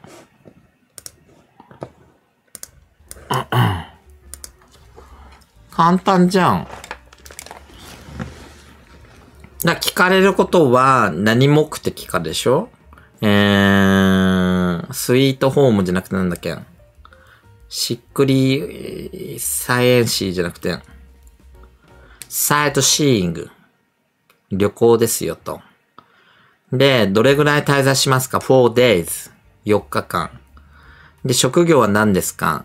えっ、と、自営業が、I'm, I'm, コサックダンスじゃなくてなんだっけ？なんだっけ？自営業ってなんて言うんだっけ？じゃ、コメディアンじゃないしょ。インターネットコメディアンじゃないしょ。女優とか言っとけばいいんじゃない？アクター。ねメジャーアクターとかさ。ねジャパニーズメジャーアクター。キッカーって何よ、キッカーって。キッカーはおかしいんだの。うん、あ、お茶爆ありがとうございます。キック藤沢さん、キック藤沢さん、キック藤沢さん、キック藤沢さん、キック藤沢さん、キック藤沢さん、キック藤沢さん、キック藤沢さん、しーちゃん、匿名さん、ルンルンちゃん、ちびめいちゃん、マイトラちゃん、ありがとう、チャリンチャリン。でもさ、そんだけでしょ自分の、えっ、と、利用目的、日数、職業、あとはカメラで写真撮ったり、指を置いたりとかすればいいだけでしょ？ホテル名も言うの？え？ホテル名とかも聞かれんな。ええー、あ、聞かれる時もあんの？まあ、それは、でも、書類があるから大丈夫だよね。紙に書いといて。あ、どこに泊まるのって言われんの。えー、どうしよう。ごめん。どうしよう、どうしよう。じゃあ、この中には何を入れとけばいいんだ？まず、パスポートと、チケットと、そういうホテルの情報と、パスポートのコピーを入れとけばいいのね。あと、ペンだね、ペン。ボールペンかなんか。なんか、ボールペンは必ず持ってった方がいいよってリスナーさんが言ってたんだよね。ボールペンは必需品みたいの。あっちで貸してくんないんだっけ？うん。じゃ、ヘイヘイくんとかもうあちこち行ってんじゃん。一回さ、やればさ、大丈夫だと思うけど、初めては怖いっしょっていうの。みんなもどうだった？初めて海外行った時不安じゃなかった？最初。い一回目ね。一回目で海外に行った時ってすごい不安、ドキドキするよね。ね。不安だよね、本当にね。うーん。ただ、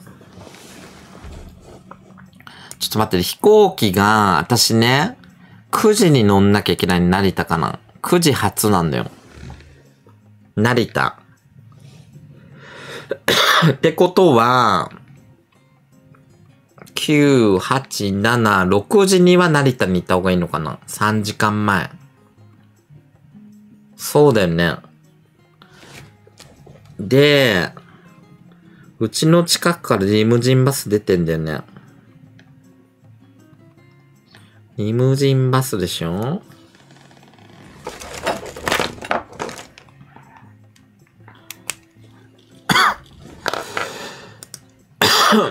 いや、リムジンバスはね、結構ね、時間通りだよね。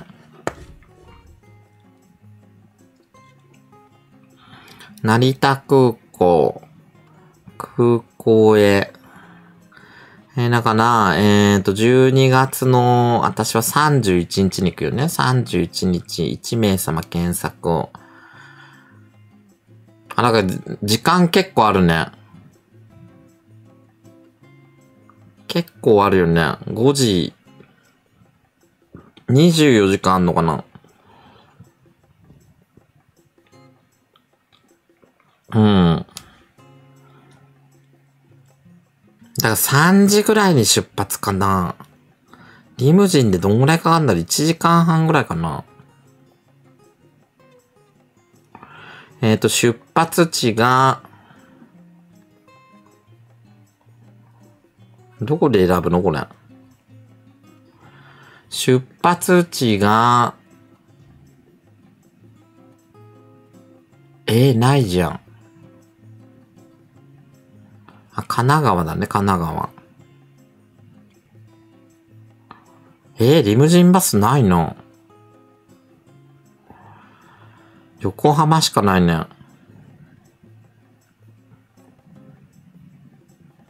ええ会社によって違うってことかな、これ。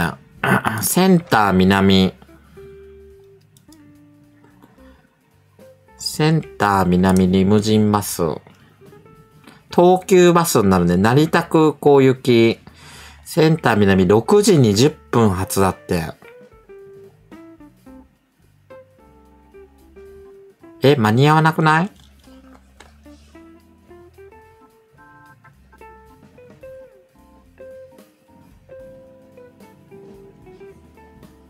え、これ間に合わないよね。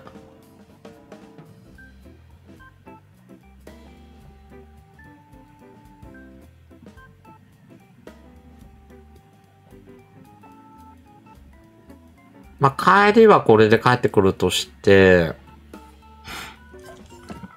前乗りしないとダメか。えー、でもさ、貴重くん次第だよね。ホテルも取りたいよな。どうしよ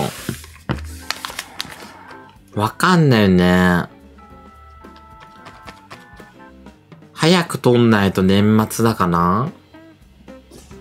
ホテルもなくなっちゃうかもしんないよね。だ31日だよ。うん。だってこっから成田空港ね、車で家から行ったとして何時間かかんのかな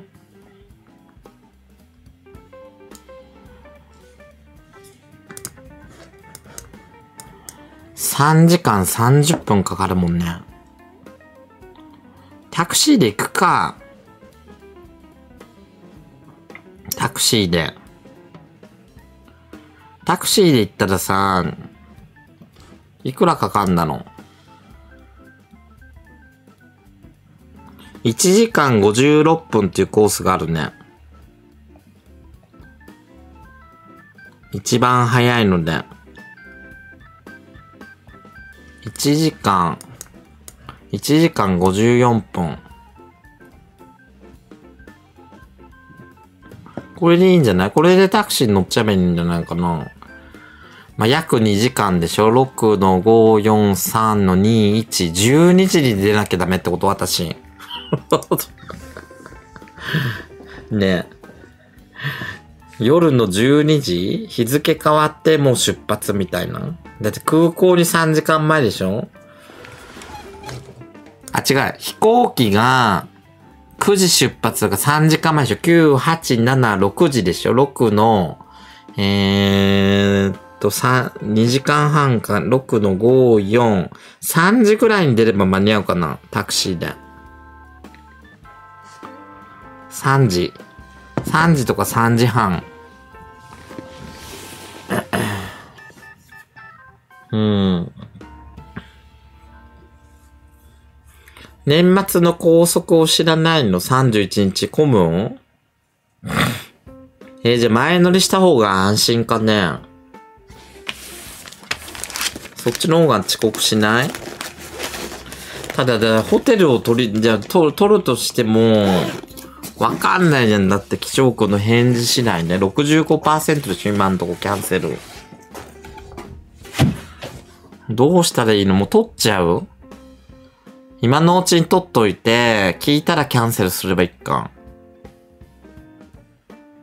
とりあえず取っといて。うん。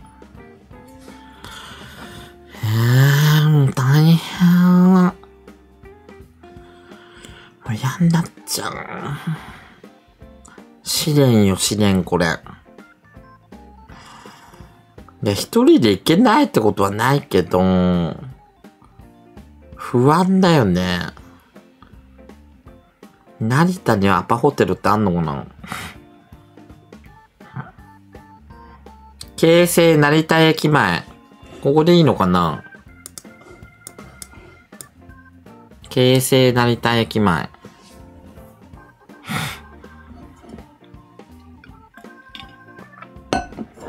これってどこだろう？地図見てみよっか。あ、全然違うじゃん、これ。成田空港じゃなくない？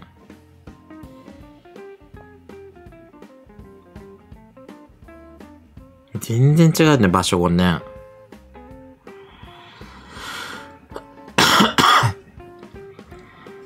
成田空港ホテルで調べる。もう怖いんだけどみんな。優しくしてよ、もっと。成田空港の中にあんの？ホテルが。どれ？あ、こういうのは何？近くにあんの？こういう。東武ホテル、エアポートとか、アートホテル。成田空港、温泉とかね。ここ良さそうじゃない？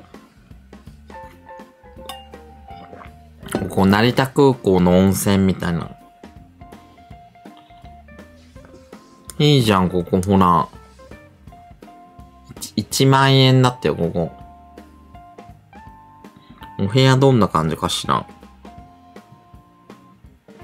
あー、だから、温泉なんだけど宿泊施設もついてるって感じかな、これね。温泉施設だけど泊まれますよ、みたいな。うん。なにこれ入れ墨タトゥーに関する大事なお知らせ。ああ、お断りすんだ。へえ、タトゥーはダメなんだね、今の時代。うん、うん、うん、うん。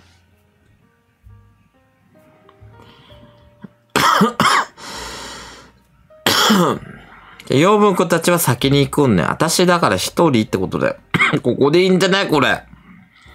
これ。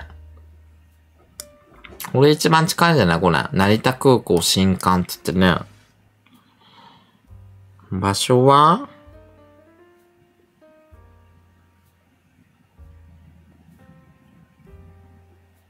ああ、だからもう隣だね、隣。すぐ隣だね。ほら、いいじゃん、ここ。早く予約しないと？ちょっと見てみる？えーと、日付でしょ ?30、な、30だね、30。30の、31だね。で、1名様。あるね、あるね。いっぱいあるね。7000円とかだ。ヘイヘイくんから電話？どうしたの？珍しくない？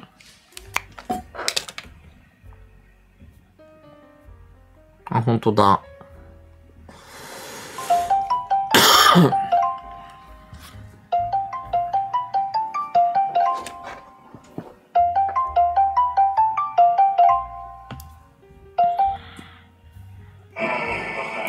くんもしもし？今どこいんの？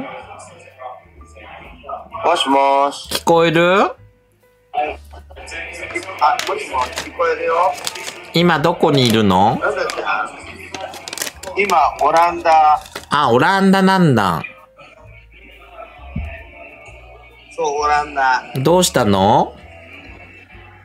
うん、なんかね、ちゃんがね、あの、チェックイン？ちょっとなんか声が遠いな。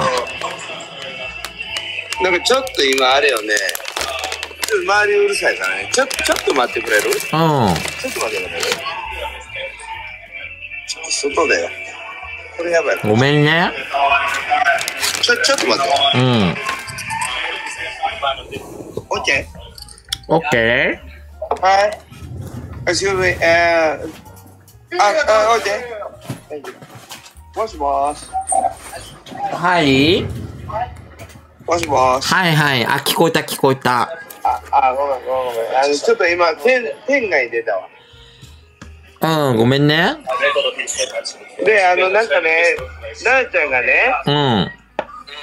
海外行くのになんかこう、ちょっと、うんなん。かこう、いろいろ不安や言うて、なんか、ああの、こうコメントもらったから大丈夫かなと思って電話したの。あー、だからその、初めて入国審査とかやるからさ、どうなのかなーってみんなと話してたの。うん。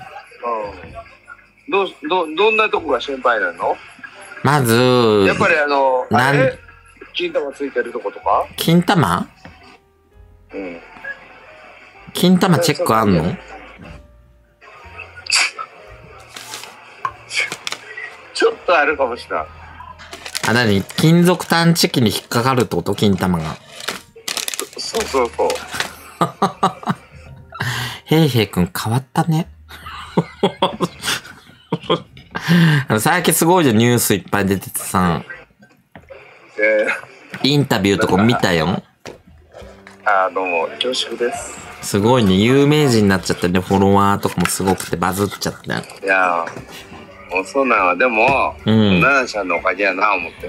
全然何も私してないじいやいや、もう、ゃん。すごいわ、そのか、らのあれでしょ。ねえ、欲しくなっちゃったチンポがまた。ヘイヘイくんのヘイヘイが欲しくなっちゃった有名になっちゃってさ。あ、そうな。でもあれやん、奈々ちゃん、あの、年末年始、なんか、あの、ベトナム行くやん。行ったことある？ヘイヘイくん。ベトナムないねん、俺。だかあー、らワンチャンだから行くのはありやなと思ってる。誰が？で、なんかあの、行ったことないとこ全部行きたいのよ、俺。あー、で、よかったらね、ヘイヘイくんも次行けば？次行けば、みたいになってるけど。え、一緒に行くってこと？さすがにないもん行く？いや、でもほら、養分伊藤くんの企画で行くからさ、私。ああ、なるほどね。うん、他の人がいるから、あれかなと思って、あんまりね、そう。はい。まあまあまあまあまあ、まあ、それは別の機会に。彼がね、僕、あの、ちょっとき嫌われちゃう、嫌われちゃってんもんね、俺。なんか知ら嫌われてはないけど、なんかあんまりそういうの嫌がる人なんでね、あの、勝手に誘ったりや、とかする。でも俺あれやで、彼に対して別に何もないし、まああの、あったら普通なんだけどね。うん、別に、ヘイヘイ君のことは何も言ってないよ。うんまあだからとりあえず、まあ、あの、でもベトナムは行ったことないから、そのうち一回行ってみたいなと思います。うん。そうああとはあの、ななちゃん、あの、え、なんか、俺、帰るときに迎えに来てくれると言ってたよ。あ、関空に？うん。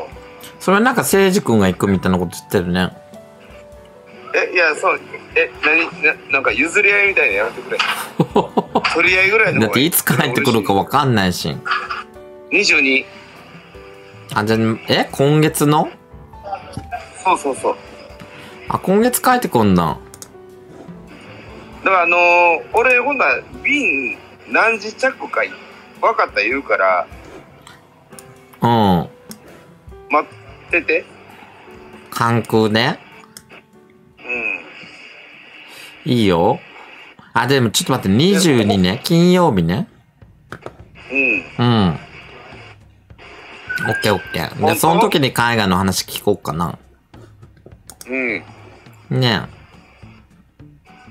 じゃあ、本当に俺、ちょっとガチで待ってるね。え。うん。迎え行くよ。か、関空でいいの？関空。うん。そう。オッケー。じゃあその時話そうえ、え、なんてその時話そう、いろいろ。オッケうん。ー。じゃあ、なあちゃん。俺も、あの、なあちゃん誕生日プレゼント兼、あの、お土産買ってるから。あー楽しみ。それももらいに行くわ。うん。じゃあ、あ何時頃、はい何時頃？うーんと、まあ一応、うん。昼か夕方かどっちかになるかなっていう。オッケーオッケー。うん。また、あの、決まったらすぐに言いますんで。うん。うん。はーい。じゃあ、なん、ありがとうね。気をつけてね、残り。うん。じゃあね。あはーい。りがとう。はーい。ほー。迎えに行ってあげましょう、じゃあ。有名人だからさ。22日でしょ？何も予定なかったよな、私な。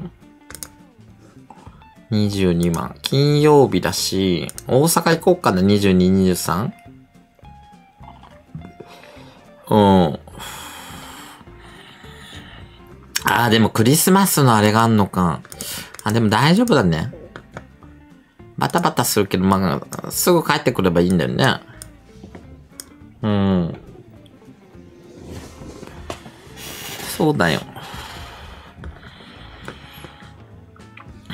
へえくん今すごいよ、もうテレビに出まくりだよね。結構出てるよね、ニュース番組とかさ、あの、取材とか。現地取材みたいのとか出てたりとかさ。えー、でもなんか閲覧とかもう300人とか500人とかいるよね、今ね。すごい増えたよ。だってみんなさ、あのさ、事件が起きる前、前のね、海外配信なんてね、15人とか20人しか見てなかったんだよ。ね本当に。事件起きる前日とかね、そうよ。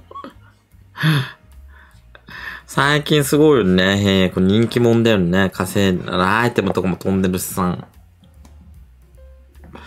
ないいよ、企画としてね、あの有名人を空港に迎えに行くっていう配信をしようよ。私も便乗させてもらうわ。え？平イ君も散々私でさ、便乗したんだかな。迎えに行きましたよ。うん。ねだから大阪も行こうかね、久しぶりに。今年最後の大阪。うん。ねえ。どうですかみんな？だかもう、ひでママ、あ、そうだよ、昨日ね、ひでママのね、お兄さんから連絡があったの。電話で話したのよ、私。うん。なんか一度お話ししたかったんですよね。で、最近、ひでママの家族っていうかさ、親戚の方も、配信をハマっちゃって見てるらしいんだよ。うん。あの、めいっ子も、あの奥さんも、ねひでママのお兄ちゃんも。それで、なんか、ななちゃんと、ちょっと一度話したかったんだよね、みたいな感じでね。うん。昨日ちょこっと話したんだけどね。うん。なんか停電ね、いろいろひでママが聞いてた時はさ、なんか仲悪いみたいな感じだったけど、話してみるとね、なんか別に気さくな感じで、私たちはすごいよくしてくれたんだよね。うん。そう。兄弟だかななんかいろいろそういうことあると思いますけど、みたいな感じでさ、話してて。うん。もんじゅり見損なった何が？どういうこと？何を見損なったんだろう？ん？だひでママとヘイヘイ君は一緒に考えちゃダメよ。たまたまそれが起きただけでね。うん。みんなそこを一緒くたんにしてるけど別にひでママが亡くなったのはヘイヘイ君のせいじゃないじゃん。ねえ。あの、牡蠣を食べてね。亡くなったでしょひでママ。うん。全然あそこは、ね、別々で考えた方がいいと思うよ。別に殺人者じゃないんだから、ヘイヘイ君は。それはちょっとヘイヘイ君はかわいそうだよね。だって元はを言うと、ヒデママが暴力を振るったのが原因で、ヘイヘイ君は、ね、被害者の方じゃん。でね、ヒデママが悩んでたのもわかるけど、ヒデママが酔っ払ってね、ヘイヘイ君に暴力を振るったのが原因でしょうん。そこはなんか分離して考えてあげないと、ねえ、その矛先をヘイヘイ君に向けてもおかしな話じゃん。もう亡くなったものは亡くなったんだし、生き返るわけじゃないし。ねえ。ひでまま生き返る年齢もなくなって、いなくなっちゃう骨になってね、もうお墓に埋まってんだから。うん。そう。嫌いだから訴えたとかじゃなくて、うーん、でもまあ普通に暴力を振るわれたら警察呼ぶし、みたいな。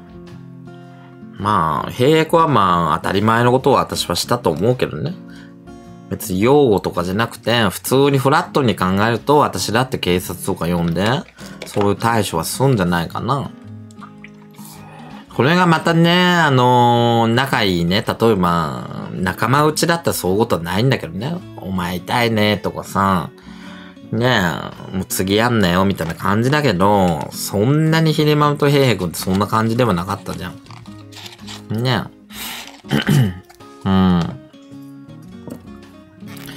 そう、だかもう亡くなったしいいんじゃない？もうその話は。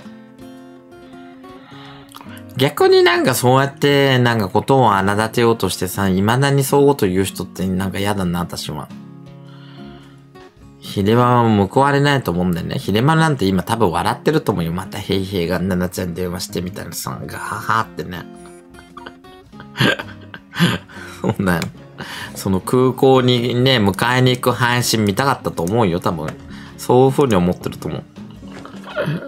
ね、私も一緒に空港に行っちゃおうかしらみたいなさ、そんな感じのタイプでしょ？ね、あいつを懲らしめに行ってやろうかしらみたいなさ、奈々ちゃんと一緒にみたいな。ヘイヘイ君の言動がやばい。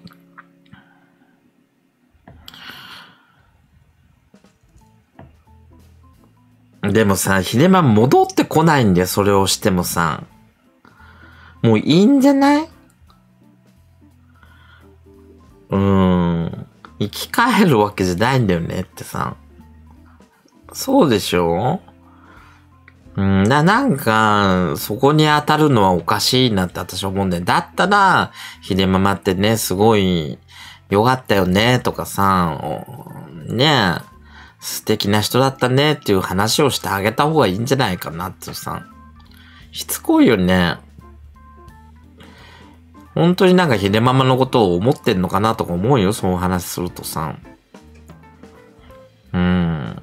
私だって悲しくなるしね、そんな話するのはさ。うん。そうだよ。じゃあ、ヘイヘイの話、ヘイヘイ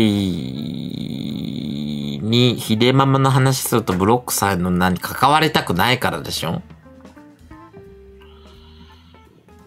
ね 関わりたくないからでしょっていうの。でも被害届けば取り下げたんでしょ？もういいじゃん。取り下げてんだから。ねえ。陛下は取り下げたんでしょ？この間の事件のやつも。うん。いや、私は、ヘイヘイ君ともね、ヒデママとも生前さ、まあ仲良し、まあ、へんつながりがあったから、っていうので、だから私と絡んでほしくないの？ヘイヘイ君のこと。そういうこと？絡むんだってこと？私と。うん。なんで私がヘイヘイ君とね、絡むかっていうと、チンポしゃぶれるからなんだよ。それ、別に情とかなくて、ねうん。チンポを3回しゃぶらしてくれたから4回目あるかなっていう気持ちで付き合ってるだけで、別にそんな複雑に考えてないんだよね。そうでしょ。チンポしゃぶりたいんだけど。なおさらチンポが欲しくなったよね、ヘイヘイ君のね。ああやってメディアに出て有名人になっちゃって、モテ期が来ちゃってるからね、今。ヘイヘイヘイヘイって人気者だから、その人気者のチンポをね、またしゃぶりてえんだみたいな。満足感みたいなさ。高越感みたいな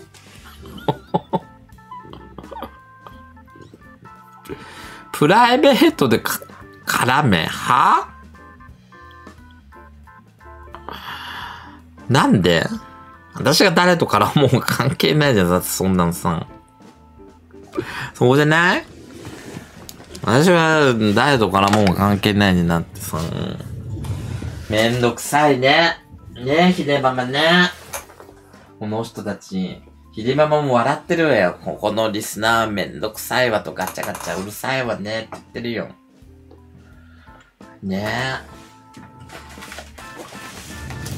ヘンヘンを責めないでなんて言ってるよ、今。私声聞こえたからね。ねえ。ねえ、私で揉めないで、ヘイヘイ君は悪くないからって言ってるよ。言ってるよ、絶対に。そんなに責めないであげてってね。私は牡蠣を食べて死んだだけだからと。うーん。ちょっとなんつうかね、お便りが来て。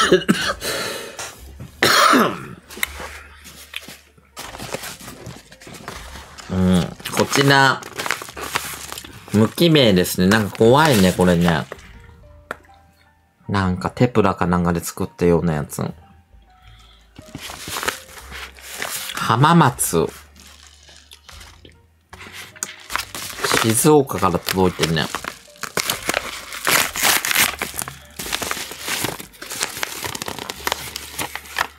ナナさんへ先日 LINE でお話ししたひでママの名刺です。え？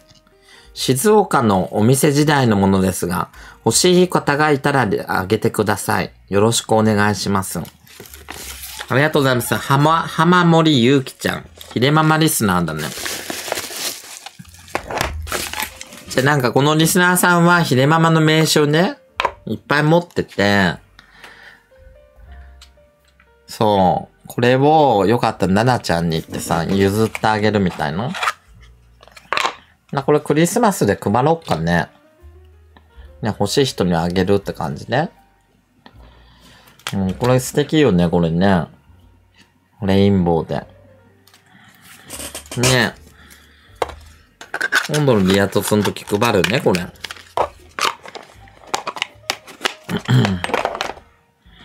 えー、お次、メロピーちゃん。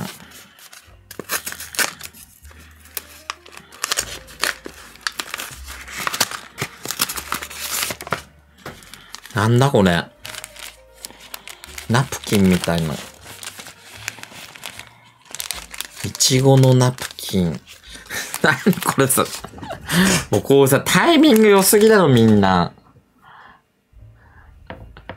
ねえ。タイミングめっちゃいいよね。これ何？キーホルダーにしてくれたの？二人の。ひでママと私のキーホルダーみたい。あ、後ろも絵が違う。素敵じゃん。ねえ。後ろはこの間ね、葉山っていうとこに行った時の写真で、ね、こっちはこういう感じいいね。ここに飾っとこうかな。見える場所で。一番目につく場所にね。あ、やだ、落ちちゃった。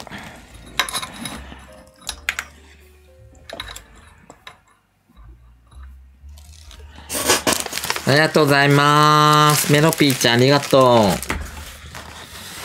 う。で、こちらが、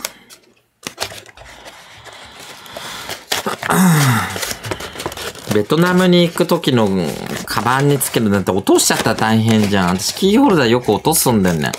壊したりとか。お家に飾っとくよ。何これ？天使的？何これ？天、天使的？なにこれ？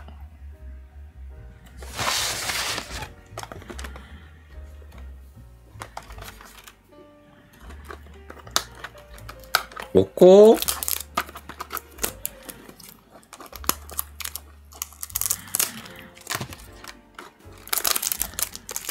天使的予感みたいなの書いてあるね。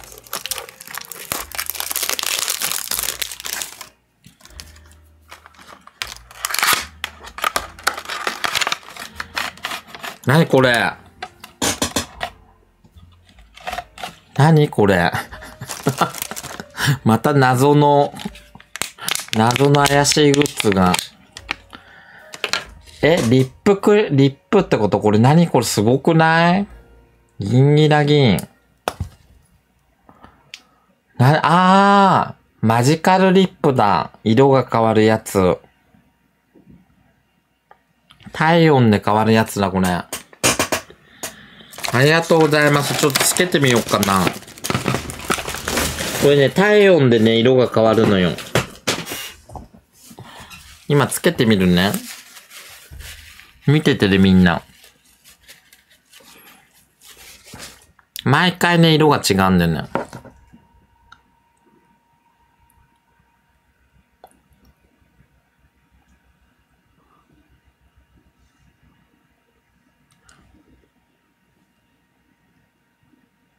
わーってね、色が変わってくるのよ。ほらほら、どんどん濃ゆくなって、なんか体温が高いと濃ゆくなってくんだよね。うわーって変わってきたでしょ、ほら。ん？いいでしょ？匂いはね、風船ガムみたいな匂い。ぶどうの風船ガム。あの、このちっちゃいやつあるじゃん。こういう四角の風船ガム。6個、4個とかさ、5個とか入ってるやつあるじゃん。丸いやつが。あれの、あの匂い、ぶどうの。うん。これ流行ってんだ、今。えー、ありがとう。よし。今日はちょっとツイキャスメンテナンスでピチピチいきますよ。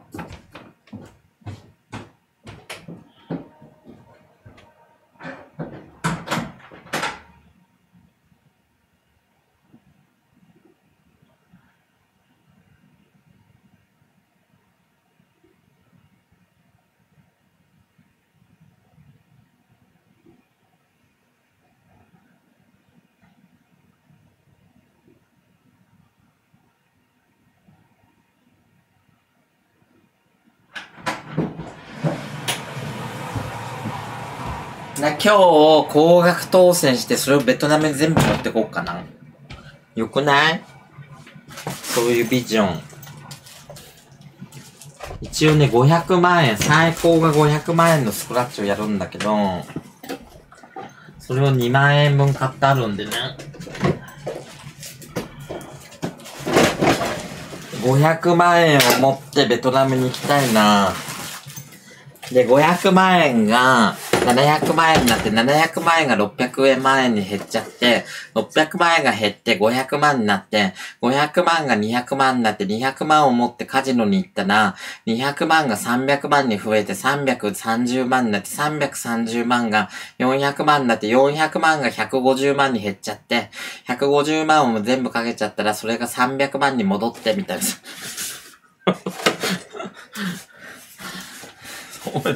そういう感じでしょ、ギャンブルって。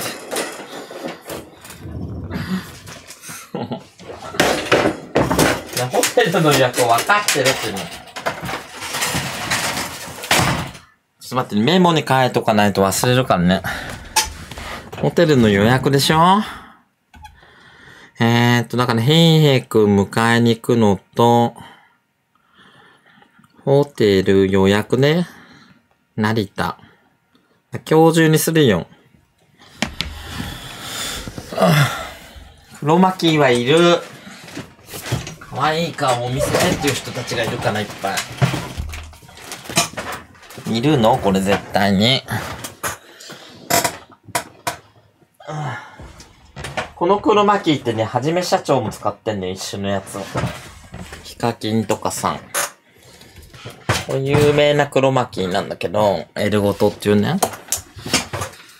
はじめ社長のゲーム配信やってんじゃん。あそこのお部屋にあるやつよ、これ。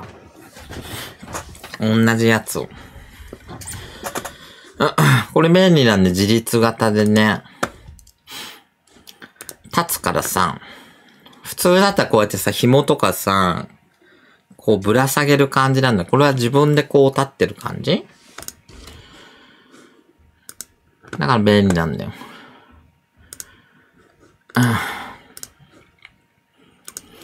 よし、じゃあちょっと黒巻きかけますね。もういっと。もういっとね。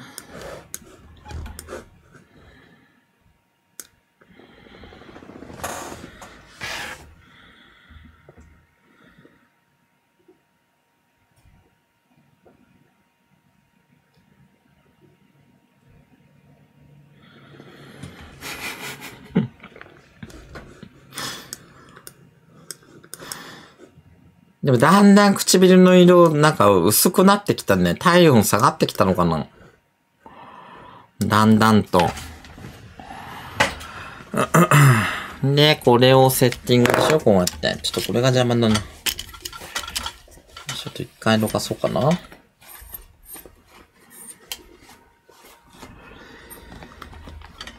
よいしょ。いや、宝くじとかさ、こういうさ、ギャンブルってさ、なかなか当たんないんだよ。もうずーっとやってんだから、私何年もね。高額当選出たのが1回だけなのよ。ほんまにね、出ないんすよ。こんだけやっててもね。マジ。相当ね、修羅の道っていうか、狭き門なんですよね。いくら当たったの？最高はね、9万6千とかじゃない？一番最高。それがね、3年前とか4年前かな。1日で5万円と3万円が当たったのよ。あとは細かいバラの当たりを入れたら9万3千とかかな。8万円だっけな ?8 万円か9万円かなんか当たったんだよね。そう。それが最高額を。ちょ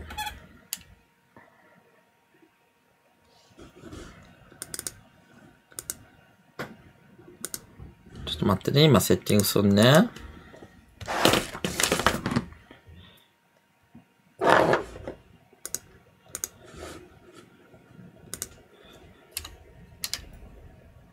そう、ちょうどね、その時ね、田中幸輝くんがね、枠に遊びに来て、そうなんだよね。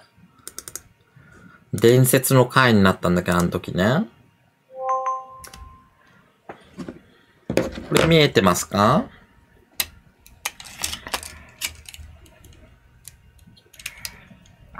よいしょ。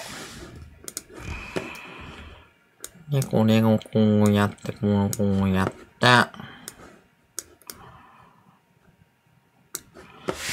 て。よし。なんかホテル予約するってしつこいな、本当に。わかったって予約に入ってるかな。で、テーブルも汚いけど今マットを引く専用マットがあるんだよ。うちには。な専用の黒いマットを引いて、綺麗にやるか。あ、もうどこに行ったのもうない、もうマットがも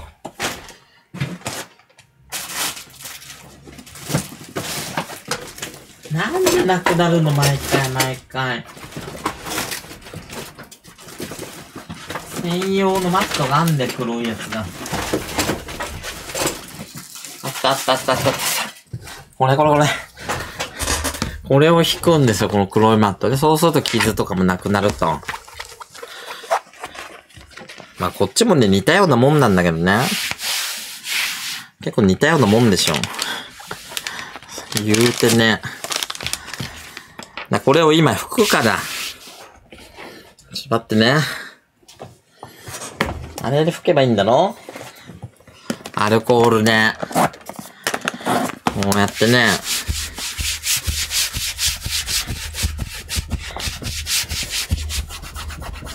もうさね、網目にさ、カスみたいのが入っちゃうんだよね、いろいろとね。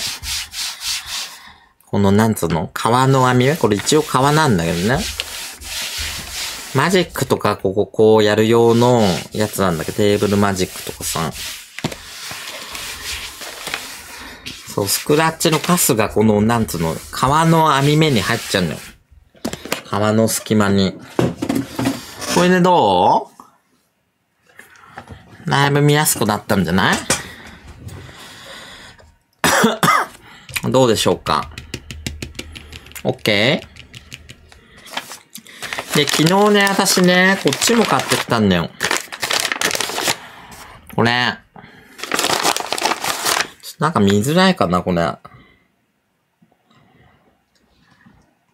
私もうちょいキューってやろうかな。あ、なんか細くなっちゃった。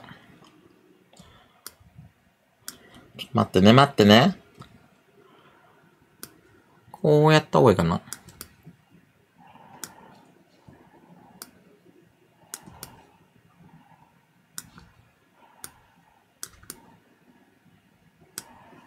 これいい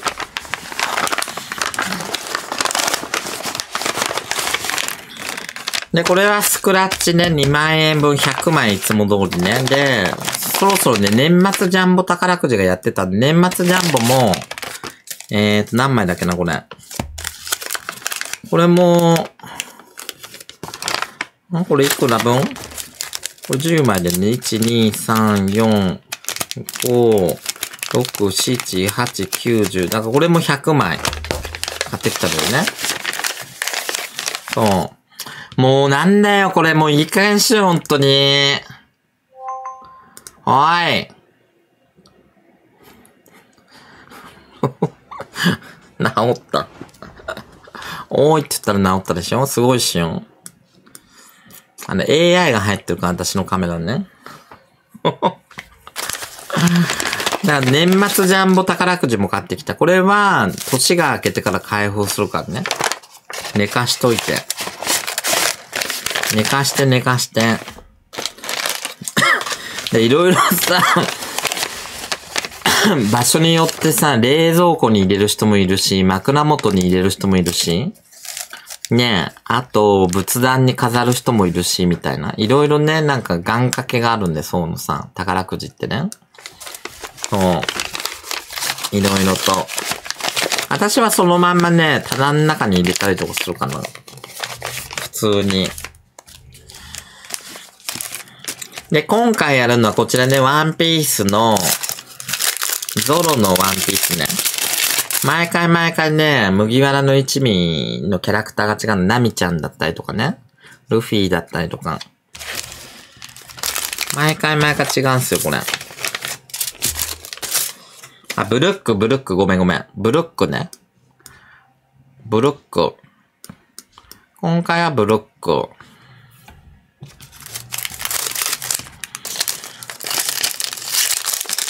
そう、にょほほほほほってやつでしょ？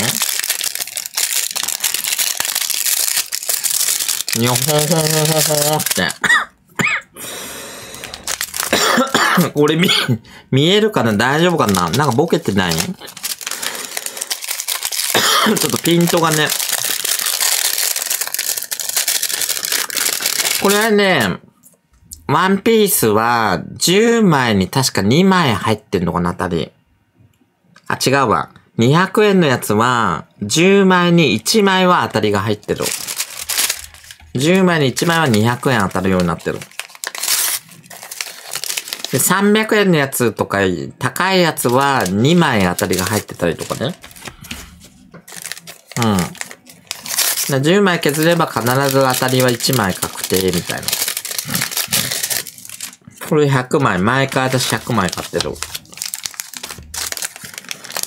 で、このね、1等を、見える ?500 万って書いてあるじゃん。これの当たる確率は調べたんだけど、0.000 0.0002%だから10万分の1ぐらい。0.00002%ぐらいかなで、年末ジャンボ宝くじは1000万分の1。一等ね、7億円とか10億円とか、ちょっと待って、誰か来たね、家に。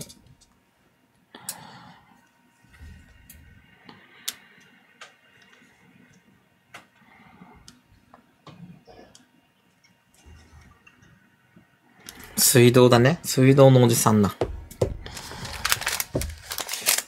水道の検診じゃない？だから、宝くじよりはスクラッチで一等当たる確率の方がまだまだ、ね。まだ当たんじゃねえかなと思って私はスクラッチをずーっと買い続けてるね。もう何十年も。ただ今まで当たったのは5万円だけ最高額はさ。嫌になっちゃうよね。今日こそはね、500万 !500 万個当てたいなと。500万を。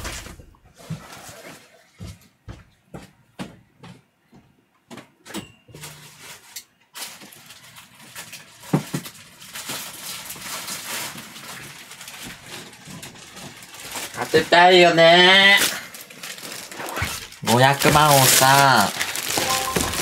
あ、やだちょっとごめんなさい。よいしょ。で、このね、袋をね、ここにつけとかないとカスがね、なこう、ここに入れちゃおうかな、こうね。こうビルトインシステムで。これだったらいいんだよね、ほら。わかるかなこういう感じ。このね、隙間にこう入れちゃう感じそうするとカスもこうやって入るでしょこうやって。これ頭いいっしょ。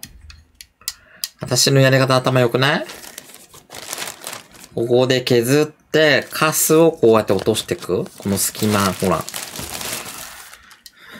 いや、これができない人いるんだよ。なかなかな。で、これ削るのがあるんだけど、削る棒どこ行っちゃったかな？久しぶりにやるかどっかなくなっちゃったな。削りん棒があるんだけどね。お好み焼きのヘラでいいかな。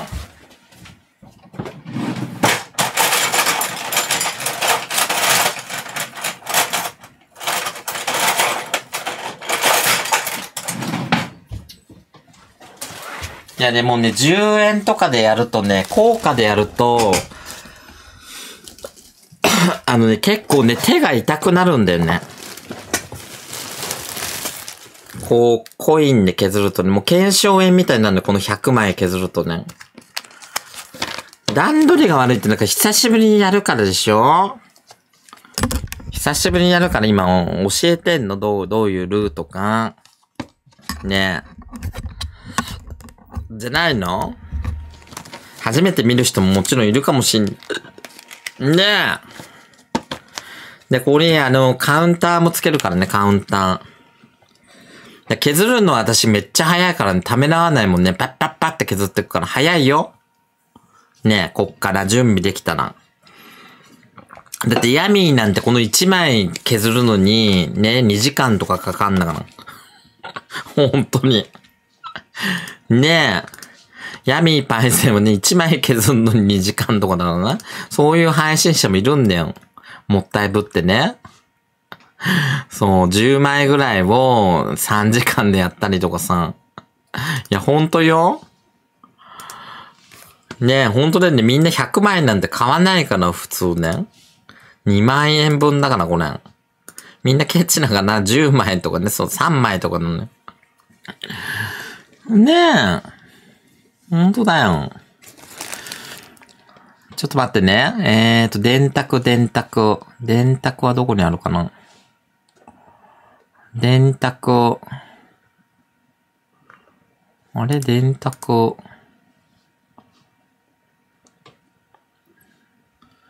電卓がないね。電卓ってなんだっけ？天球かな？あ、これ違う。なにこれ？これ？あ、これ違うな。あれ？電卓が出てこないな。うん。ちょっと待ってって準備があるんだっつんだよ。毎回そうじゃん。削んの早いっつってんだよ。なんだよ、こんな、事務仕事が。ちょっと待ってよ。できんのかっつんだよ、この作業さ。できねえぞ、ババアには。な、トウモロコシの皮剥くぐらいできんだのあれ、ヒゲ取るの。三品茶作ったりとかさ。これ難しいんだよ、こうやってね、合わせんのね、こうやってペーってさ、めんどくさくない？こうやってやんなきゃいけないんだよ、こうやってね、配信者をこうやってキューッつってさ。もうな。これね、カウンターができましたよという。これいくらかね、今ね。いくらかカウンター。OK? これ OK ね。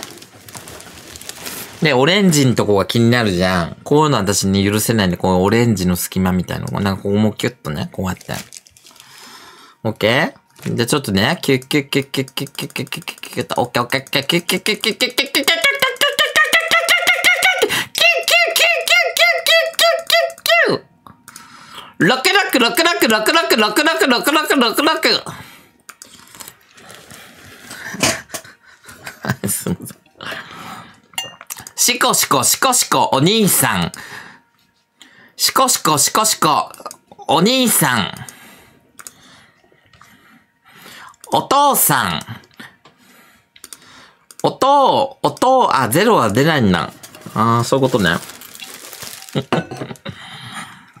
じゃあ行きますよ、みんな。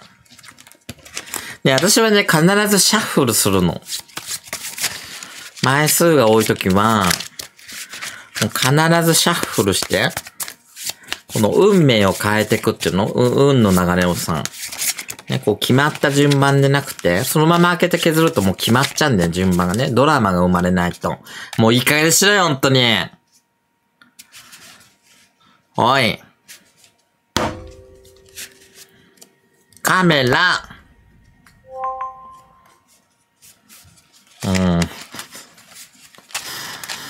なんだろうね、これなんかね。なこうやってシャッフルしてね、タロットカードのように。タロットもシャッフルするじゃん。結果が固まっちゃうからね。ね、こうやって半分にして、ね。こうやってやったりとかさ。こうやってやってね、こうやったりとか。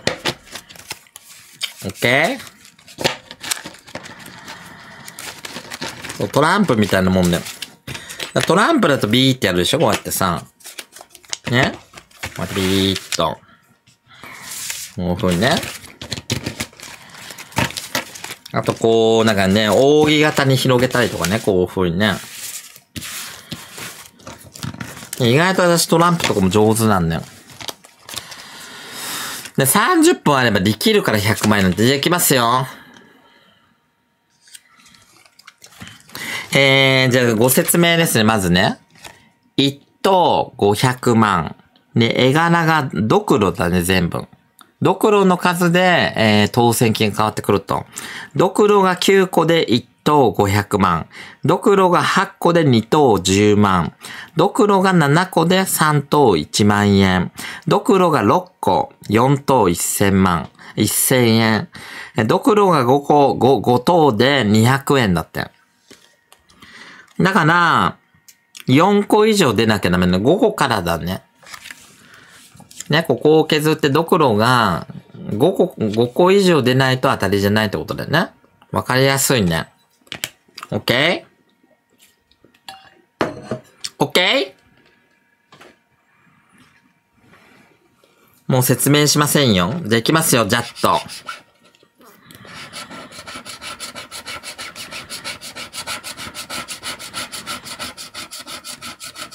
だこれだと、1、2、3、4個でしょ、今。見えるドクロ。あ、ちゃんと外れって出てんだね、これね。外れって出るね、画面に。外れ、外れ、外れ、外れってなってるね。4個だからこれは外れだね。OK? 残念ということね。わかりやすいね。これ外れって出るからね、ちゃんとね。うわ、来ちゃった、これ。1万円だわ、これ。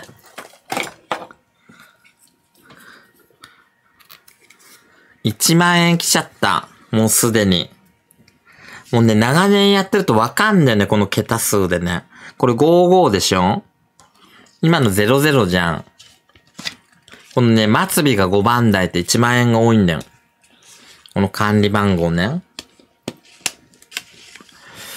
んじゃ、削らなくてもいいんだ、削らなくても全然いいんだよ。そのまんま売り場に持ってけば。いきますよ。は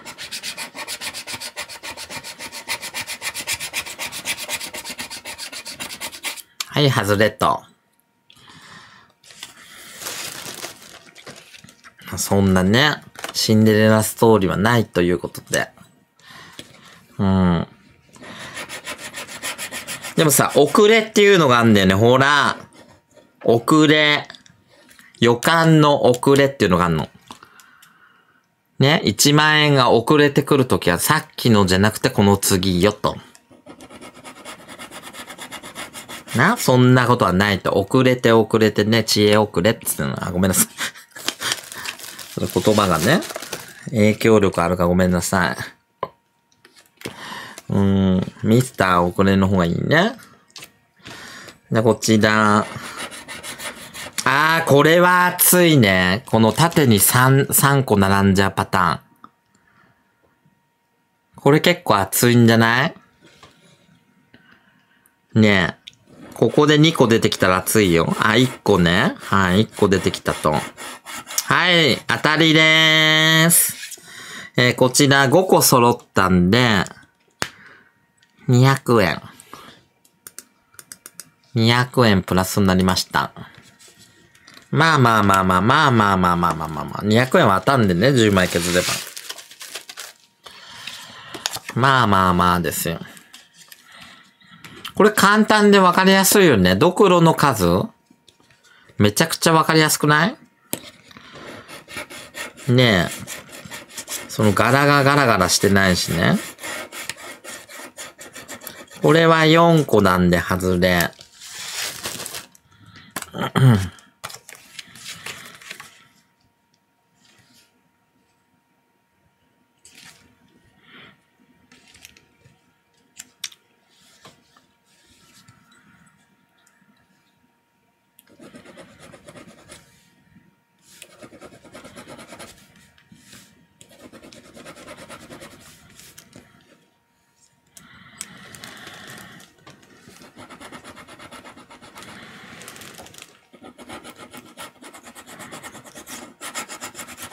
たりあ、ごめん、当たりじゃなかった。用4つだからダメね。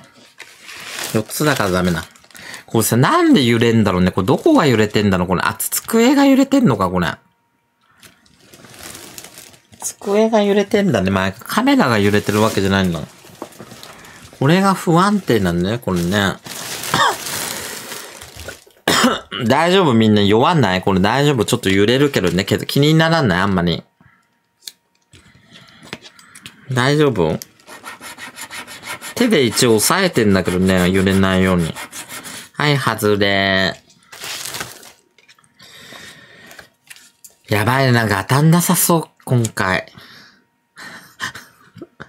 どうしよう。なんか全然ビンビン来ないんだよね。やっちまったかもしんない、今回。最近ギャンブルしてないからさ、なんか全然予感がしないんだよね。そう、降りてこないっていうか、外れ。あんだよ、そうさ。そうさ、ラッキー、ラッキーチャンスみたいなのあるじゃん。初めてやるときになんか高額のものが当たったりとかさ、パチンコとかでもそうだけどね。あ !200 円ゲットで400円だね。オッケーオッケーオッケー。えーと、これ逆にさ、逆さにして削ってみようかな。どう？そういうのありじゃない？ちょっといつもとは違う行動をとってみるみたいな。いつもと違うことを行動をとったら、運命が変わるんじゃないの？どうでしょうか？逆さ削り。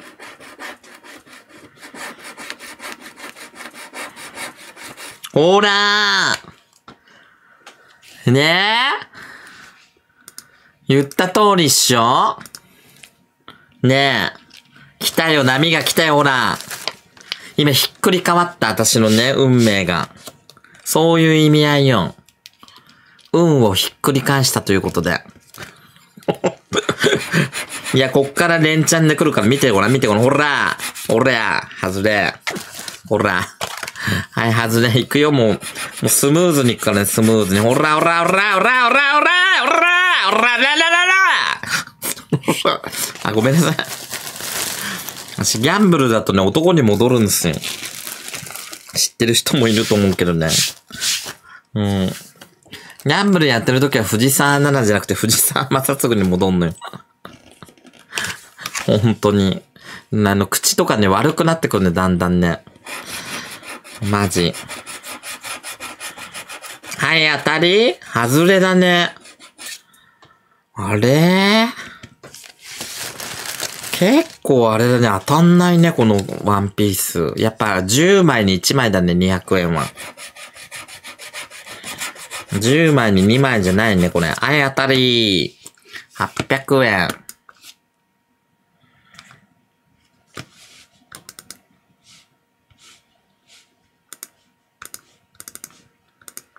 こういう時にね、1万円ポンって出てくると楽なんだよね。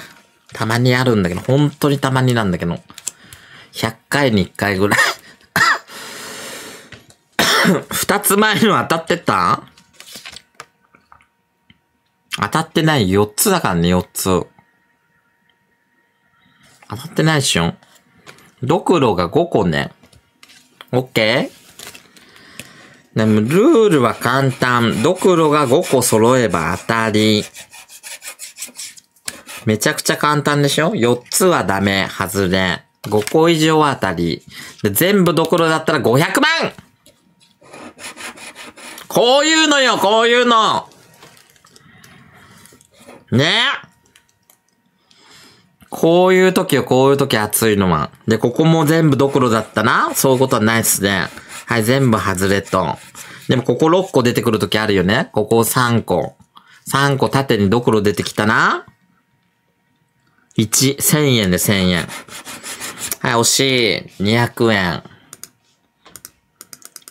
くっさ。注射か、ブルックの注射か。よほほ、よほほ、よほほほほ。この企画つまんないって言いながら見てるのってかなりつまんないよね。私からしたら。なあ。こんなんは、もう当てるしかないんだよ。当てるか外れるかどっちかしかないの。二択しか。当てるしかねえんだよ、私はな。だろ？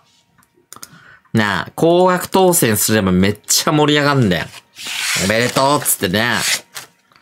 生放送でさ、しかもね。そうだよ。今日来そうやな、怖くなった。ほら、予言者も出てきちゃったよ、今日。どうする？今日来そうっていうね、予言者が今現れましたよ。ねタイムトラベラーから2030年ぐらいからやってきたさん。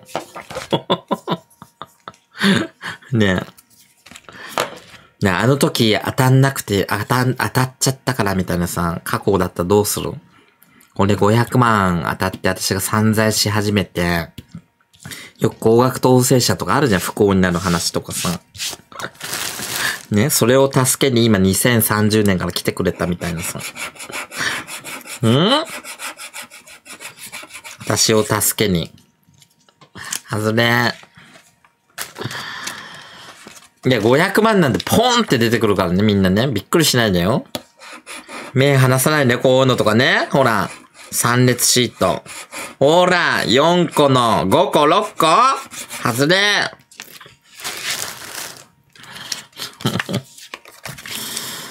はあ、ほら、3列シート来たよ。ほら、ほら、流れ来たよ。4の。4個確定、5個確定、200円 !1400! オッケーじゃあみんなね、ここでアンケート取ります。この後に高額当選が出るかどうか。えー高額当選っていうのはまあ、まあ1万円以上のことかな ?1 万円以上のものが出てくるかどうか。まだ枚数は全然あるんですよね、こんなに。この中に入ってるかどうか。まだ80枚ぐらいあるんだな。うん。でもね、それを知ってたら神様よ。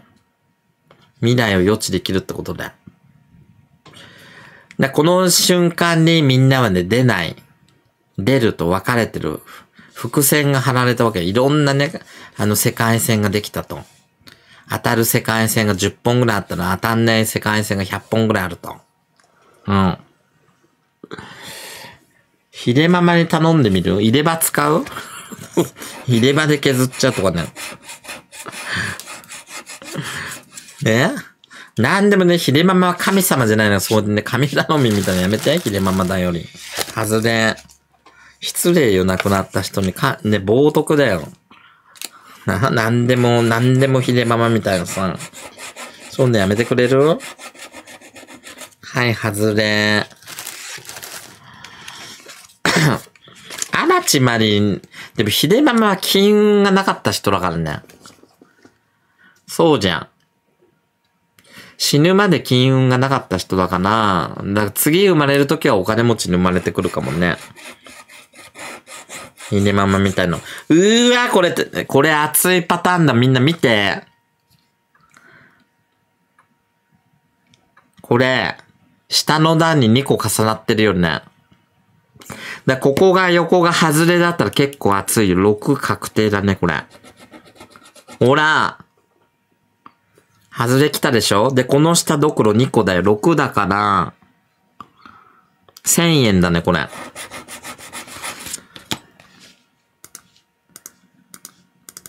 オッケー。当たり。まあ、そうっすね。そんなうまくいかねえんだよ。な、外れるようにできてんだよ、こんなんな。税金泥棒だよ、これ。うん。でも逆にさ、これさ、ドクロが0とか3とかないんだね、1とかね。必ず4個はあるんだね。うん。システム上ね。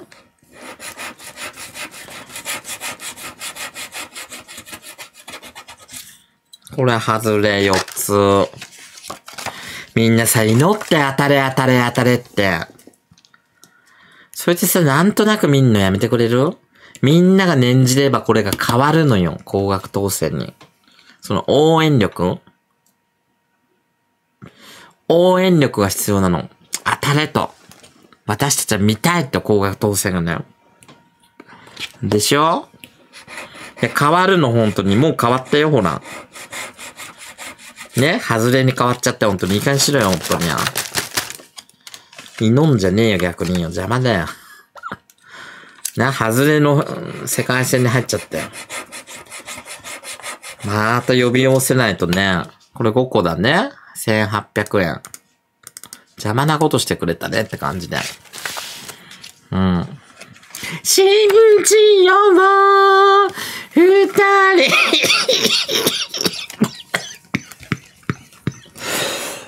また、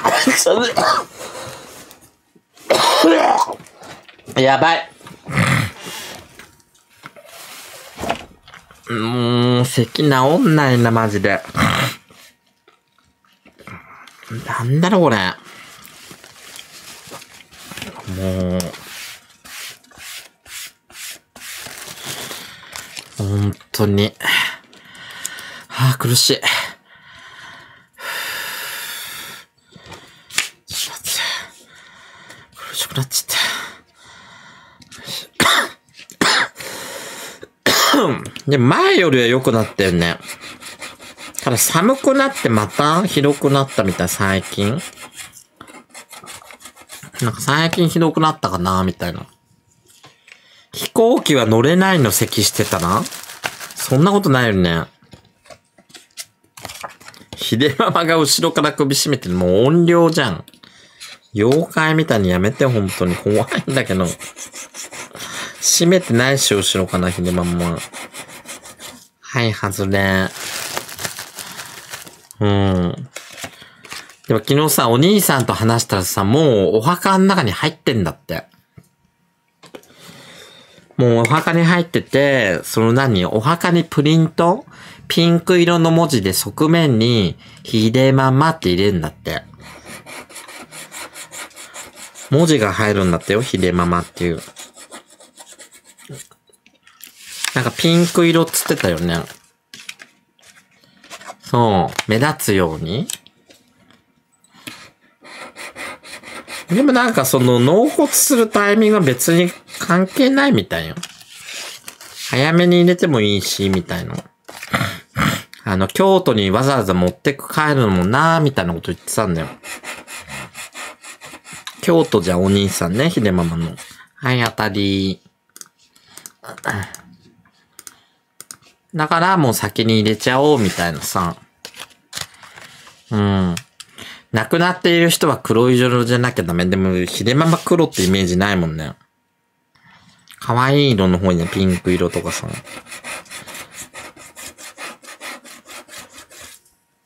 えーと、これは5個だから、2200当たり。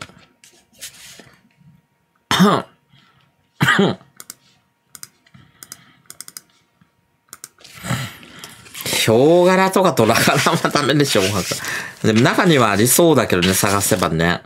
浜崎あゆみのファンとかさ、ねえ昔めっちゃファンで、みたいなさ、あゆのことが好きで、みたいなさ。だって言ったじゃん、うちのおじいちゃんなんかドラゴンだしね。両端ドラゴンの、なんかこんな、なんつうの、筒みたいのがドーンってあって、上になんかこういう屋根みたいのがついててみたいなさ。で、横とかはなんか彫り物。なんかアシュラみたいな彫り物みたいなさ。そう、屋根がついてんね、うちの。目立つぜ、あれ。これ5個当たり。2400円。うん。なんか別にね、石屋さんに頼む。お金払えばやってくれるよね。あの、石って高いけどさ。ああいうなんか掘り細工とか高そうよね。彫り物とかしてあると。普通はなんかつるっとした石じゃん。だいたいね、四角くてつるっとしたさ。加工が入るとやっぱお墓も高くなるっていうね。外れ。今ちょうど3分の1ぐらいかな。ちょっともう一回シャッフル。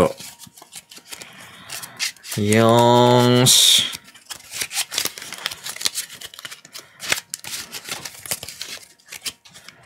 もう一度ちょっとね、流れを変えてみますよ、これ。さあ。全然あと20分間に合いますね。お、当たり、いいね、出だし。で、この次に、もう一個200円来たらちょっと熱いよ。3連チャンとか。この当たる高額当選の流れってあんだよ。あのね、200円がポンポンポンポンって連チャンして出てくるの、本当に。その高額当選するときって。バカみたいに200円が出てくんだよ。外れー。これマジね、ガチね。そう、ゾーンみたいに入んのよ。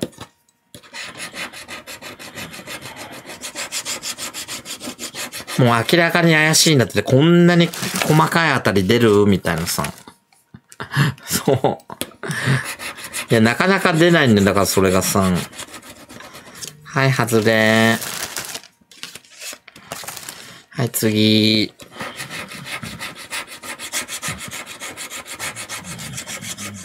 はい、外れ。高額当選したことあるよ。1日で5万円と3万円が出たことある。あと200円のあたりがバラバラバラバラってね。だその時が200円のあたりが異常に出たんだよね。連チャンして。で、これ怪しいねって言って、お金なくなっちゃってさ、そうだよね。追加かなんか追加追加追加でやってったんだよね、私ね。結構ね、追加をするのもありよ。ね、決めた枚数買うのもいいけど、追加当たったやつでまたさらに買うとかさ。例えば1万円当たったら1万円をそれをかけちゃうとかね。そうすると結構ね、いい値段がね、1万円とかまたポンって出たりとかね。うん。出るんだよ。上から削れって何？どういうこと？削る場所なんてね、意味ねえんだよ、別に。そんなん関係ねえんだよ。そんなんで当たんだったら最初からやってるよ。だいたい私はね、こっちから削るね。なぜかっていうと、こっちからやると見えなくなっちゃうじゃん。わかる？こっちから削っていくとみんなに絵柄が全部見えるしよ。こっちから削っていくと見えないじゃん。手で隠れちゃって。わかるでしょ？はい、これ来ましたこれは1000円だね。1000円来ました。1、2、3、4、5。これでもう200円確定。はい。あと1個どころで出れば1000円だね。これ、これ1000円っぽいね。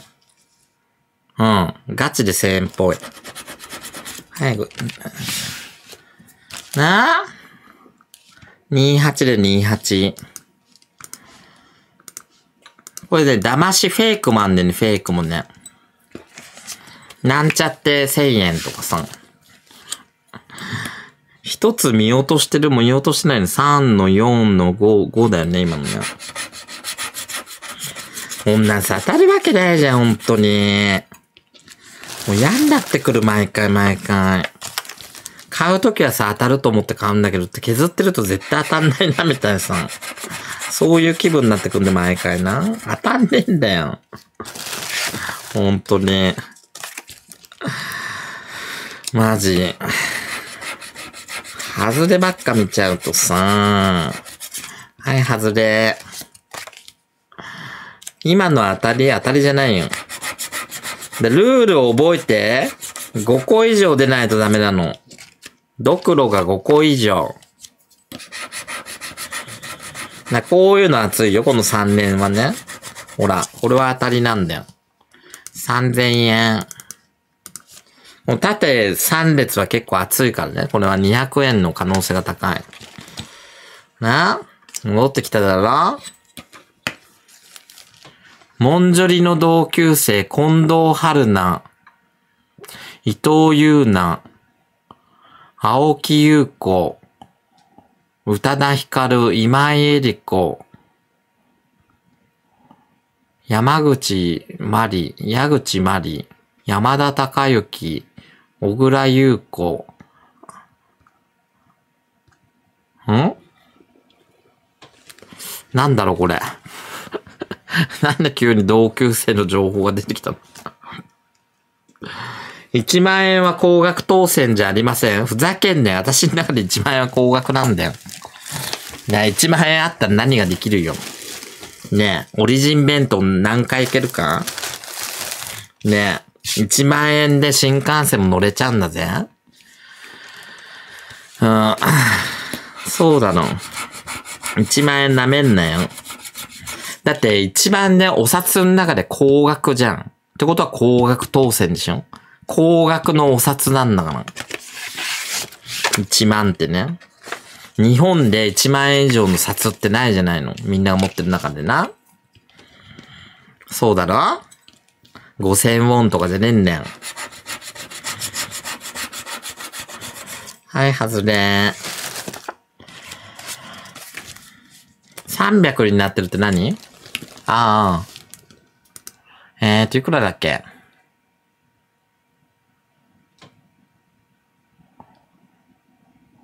？3000でストップしてた？うーわー来ちゃったー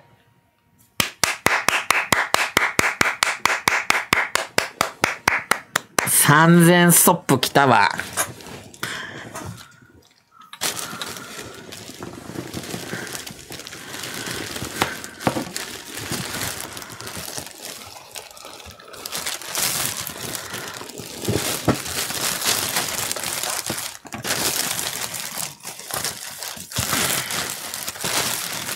見てて、ほら、これこれこれこれ、サンストね、ちょっと興奮してきたわ。でも結果でわかるから、結果で。これよ。これ。これこれ。これがみんな待ってた。あれですよ。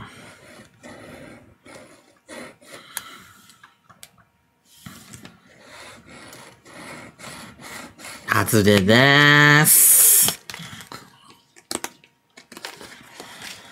うん。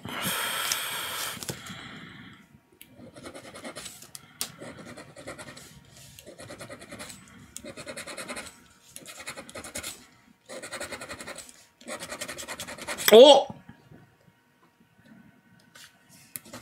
おあーん !300 円。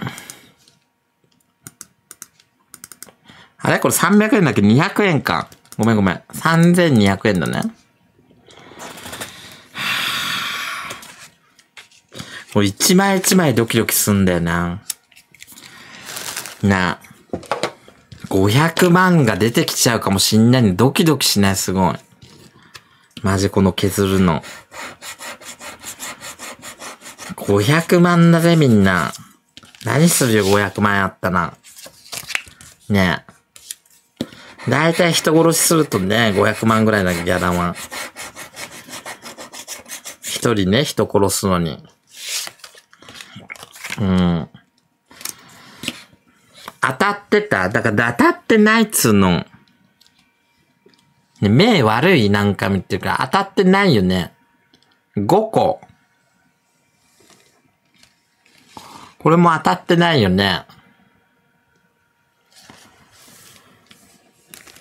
当たってないっつうの2個前まで見てるから、その、もうさ、ちゃんと見ててくんない。目悪いの、本当に。これは当たりだよ、これは。これ3400円。これは5個揃ってるから当たりでしょ？?OK? でもたまに最後に振り返ると見落としがあんだよね。1枚ぐらい。ほんと。最後にね、ボロボロ出てくるときあんだよ、間違いだよ。こんだけみんなで監視してんのに、見、見落としがあるんだよ。不思議よね。外れ。これ偽物だね、これね、このアナウンス。これは公式アカウントじゃないですね。これ匿名が書いてんの。偽物です。はい、3600円。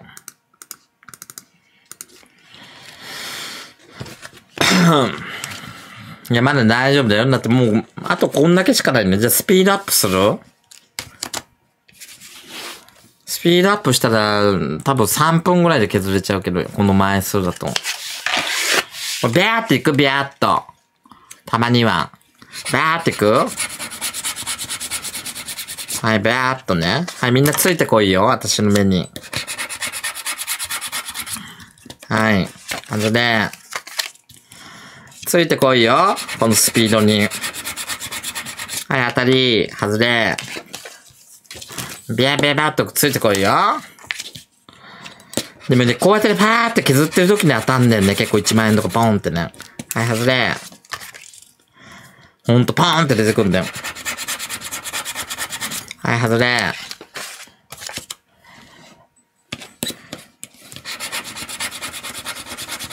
はい、当たり。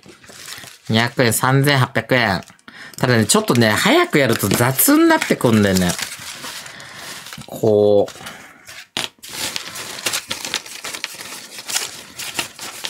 ちょっとね、雑、雑っぽくなるの。こういうのカスとかさ。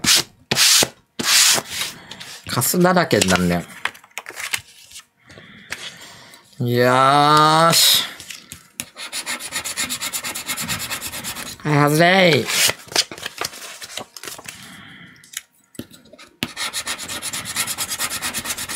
はい、当たり外れか。外れい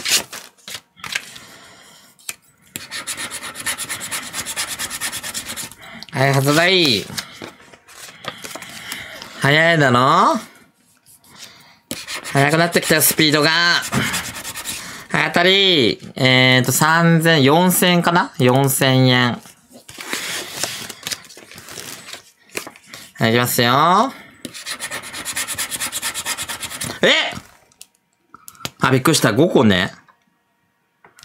6個かと思った。200円。4200円。オッケー。びっくりした。今ちょっと目がね、錯覚を覚えたわ。42でしょ？今42。あ、これ当たりっすね。あ、違う、外れ4つ。そう、BGM 忘れてた。はい、外れ。4つ外れ。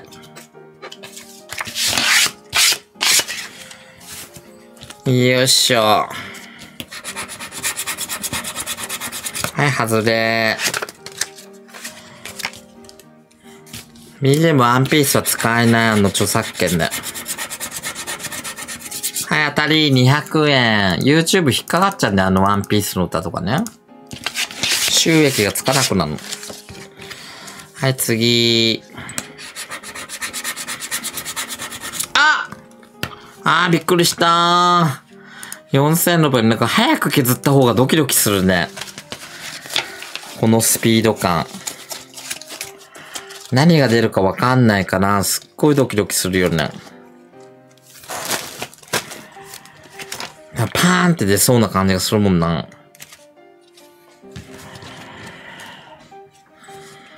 よーし。当たり、200円。お、いいね。重なってきたね、だんだん。増えてきたね、当たりが。いいんだがねよ、これ。じゃんじゃかじゃんじゃか入ってきて。お、いいよ、いいよ。はい、外れ。はい、次。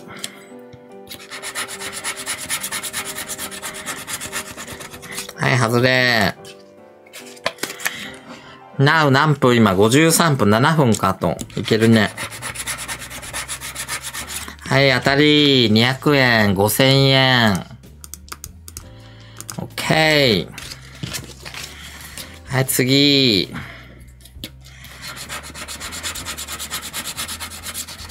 ねえ、これ外れ4枚外れ。500万来てほしいな、マジで。1回で1回で1回でいいかな。外れ。500万、500万、500万。500万来て。500万個。外れ。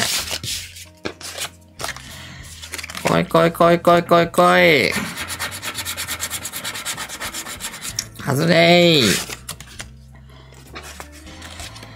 よし。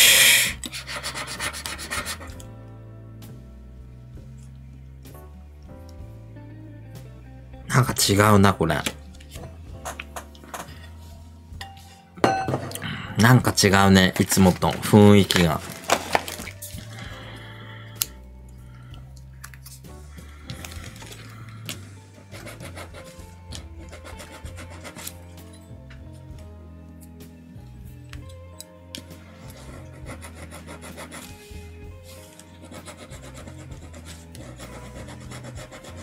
ねえ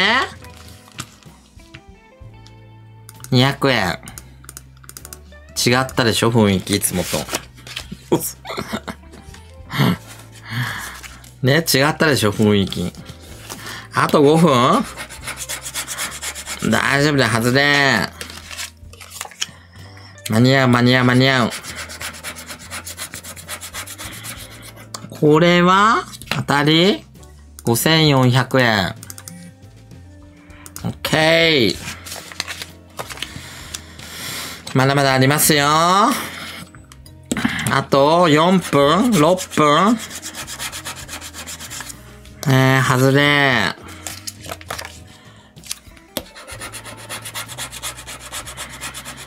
えー、外れ。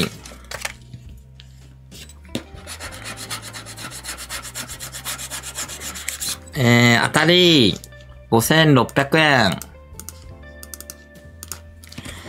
はい、次。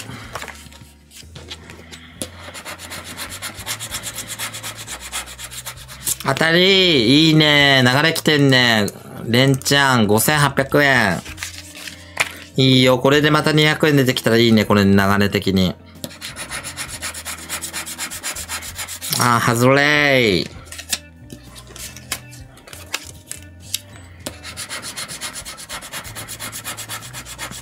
はい、外れー。結構ね、100万円削るって大変だからね、みんなやってごらん今度。自分で。結構時間かかるよ、これ。あ